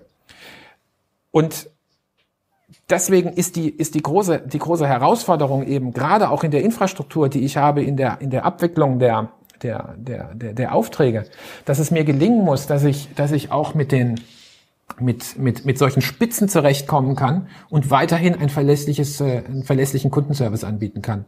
Und das war für uns äh, äh, gerade am Anfang von Corona, als bei uns die, die Umsätze äh, im Online-Bereich oder die Bestellung extrem nach oben geschossen sind und wir auch plötzlich ähm, äh, Lieferzeiten von zwölf Tagen hatten, statt unserer drei bis vier äh, äh, Werktage, äh, haben wir uns dann sofort überlegt, wie wir das machen können, indem wir eben ganz bewusst die Filialen dafür nutzen. Und Click and Collect letzten Endes ist auch eine Maßnahme zur Entlastung der Online-Läger natürlich. Also es ist nicht nur ein besserer Kundenservice, sondern es ist auch äh, eine Entlastung der Online-Läger und die sogenannte Filialkommissionierung, dass äh, Aufträge, die ähm, äh, zugestellt werden nach Hause oder, oder in Packstationen, ähm, dass die eben nicht aus dem Online-Verteilzentrum kommen, sondern dass die aus den Märkten kommen, ähm, ist auch eine Möglichkeit, ein Überdruckventil zu schaffen, dass eben unabhängig davon, wie die Spitzen plötzlich nach oben schießen, ähm, die, das Lieferversprechen trotzdem eingehalten werden kann. Es hat also was mit Auftragssteuerung zu tun und natürlich bei unterschiedlicher Kostenstruktur gilt und, und jede, jede Art der Kommissionierung, also ob es jetzt äh, Express ist oder ob es jetzt in einem Online-VZ ist oder ob es sogenannte Filialkommissionierung ist, die ja nochmal zusätzlich verpackt werden muss, damit sie versandsicher ist, äh, hat unterschiedliche Kosten, ähm, also sozusagen Erstellungskosten. Und es geht eben darum, dass man, äh, dass man die Auftragssteuerung so macht, dass man letzten Endes die günstigste Variante der Auftragserstellung immer maximal auslastet. Okay, also ich nehme das mal mit. Ähm, ihr konntet auch online sehr stark äh, wachsen. Jetzt muss ich mal schauen, welche sozusagen, was meine Dreisatzrechnung vor einem halben Jahr war. Dann kann ich mir auch noch mal ähm, ausrechnen, wie äh, groß das ihr mittlerweile das scheint dich sehr zu beschäftigen, Alex. Warum, warum, warum treibt dich das eigentlich so um? Ähm, weil ein gewisses äh, Ausgangsniveau im E-Commerce natürlich extrem hilfreich ist, um äh, sozusagen in der Fixkostenregression einfach viel, viel effizienter zu sein. Also wenn ihr jetzt bei, sagen wir mal, mhm. seid vielleicht Ende des Jahres bei 500 Millionen rauszukommen, dann wird es immer effizienter, die, äh, die nächste Charge da aufzubauen, die nächsten 500 Millionen aufzubauen, entsprechende Leute zu begeistern, nochmal ein größeres Lager aufzubauen und dann hat man auf einmal Infrastruktur, wo dann eine Art Gorilla-Service dann doch viel einfacher möglich ist, zu viel besseren Kosten oder ein Picknick oder was immer das auch sein, äh, sein mag. Und ähm, das geht natürlich nicht, wenn man aus so einer 50 Millionen Euro Umsatzperspektive heraus äh, mhm. agieren muss. Aber ich glaube, da fehlt quasi eine Null. Äh, das, aber das muss ich nochmal so ein bisschen triangulieren. Ähm, ich fand's, ich fand's sehr erhellend und auch extrem cool, dass du dir Zeit genommen hast, die Fragen zu beantworten. Ich hoffe, ich habe keine Frage vergessen, beziehungsweise gibt es irgendeine Frage, die ich dir stellen sollte, die, auf die du schon immer gewartet hast, die du hier hier vermisst hast in dieser Ausgabe? Ja, nein, Alex, zumal wir die Fragen ja nicht abgesprochen hatten, ne, sondern äh, ich habe ja ganz bewusst, ganz bewusst gesagt, äh, bring einfach die Fragen mit, die du glaubst für die äh, für die Zuhörer interessant sind. Und dann machen wir das wie im, wie im echten Leben. Ne? Wir, wir sprechen drüber und äh, versuchen die unterschiedlichen Perspektiven äh, nachzudenken. Äh, ja. Und ich glaube, ich glaube, das ist uns gelungen. Beziehungsweise wir werden es ja sehen an den Kommentaren, die dann geschrieben werden. Ich fand super. Ich bin natürlich auch angewiesen auf die Kommentare, weil das ja eine Art neues Format ist, wo wir quasi externe Audiodateien nochmal vorher bekommen. Kann ich mir gut vorstellen, dass wir das auch nach vorne hin weiter äh, machen. Ich finde, das bereichert total und äh, macht alle ein bisschen schlauer. Ich, ich glaube, jetzt sind auch nochmal äh, ähm, viel mehr Leute deutlich informierter, äh, sozusagen, was bei DM geht oder was auch nicht geht. Ich äh, großen Respekt für die Clubhouse-Initiative. Finde ich wirklich gut auch sehr progressiv ähm, ähm, richtig gedacht. Und ich hoffe natürlich, dass wir uns bald auf Folge äh, auf Folge 3 treffen, dann aber vor Ort, nachdem wir nochmal eine gemeinsame Marktbegehung gemacht haben. In diesem Sinne erstmal vielen Dank, Christoph. Gerne doch und schönen Tag. So, das war's. Ich hoffe, es hat euch gefallen. Es geht in den nächsten Folgen weiter mit dem Thema Futterhaus. Da ist der Geschäftsführer zu Gast schon am Montag. Und da reden wir darüber, äh, wie sich dieses Geschäft entwickelt in Corona-Zeiten und nach Corona-Zeiten, online wie offline. Ich rede mit Erik Potzowait über die aktuellen Amazon-Zahlen. Da schauen wir uns genau die Aktie an und auch die Analystenbewertung. Tina Müller und Vanessa Stützle sind schon nächste Woche zu Gast. Florian Heinemann ist wieder zu Gast. Der Chef von Schalltech oder der Berlin's Brand Groups ist zu Gast. Also in den nächsten paar Tagen kommt noch eine ganze Menge spannender Podcasts und bis dahin hoffe ich, habt ihr die Infos von Christoph verdaut und wenn ihr mehr von Christoph hören und sehen und lesen wollt, ähm, schaut einfach mal bei Clubhouse rein. Da ist er relativ aktiv und jetzt, jetzt würde ich mich freuen, wenn ihr die kleine Umfrage ausfüllt, die in den Show Notes ähm, drin ist, rund um das Thema Podcast-Werbung. So, tschüss, schönes Wochenende oder schöne Woche, wann immer ihr auch diesen Podcast hört. Thank you.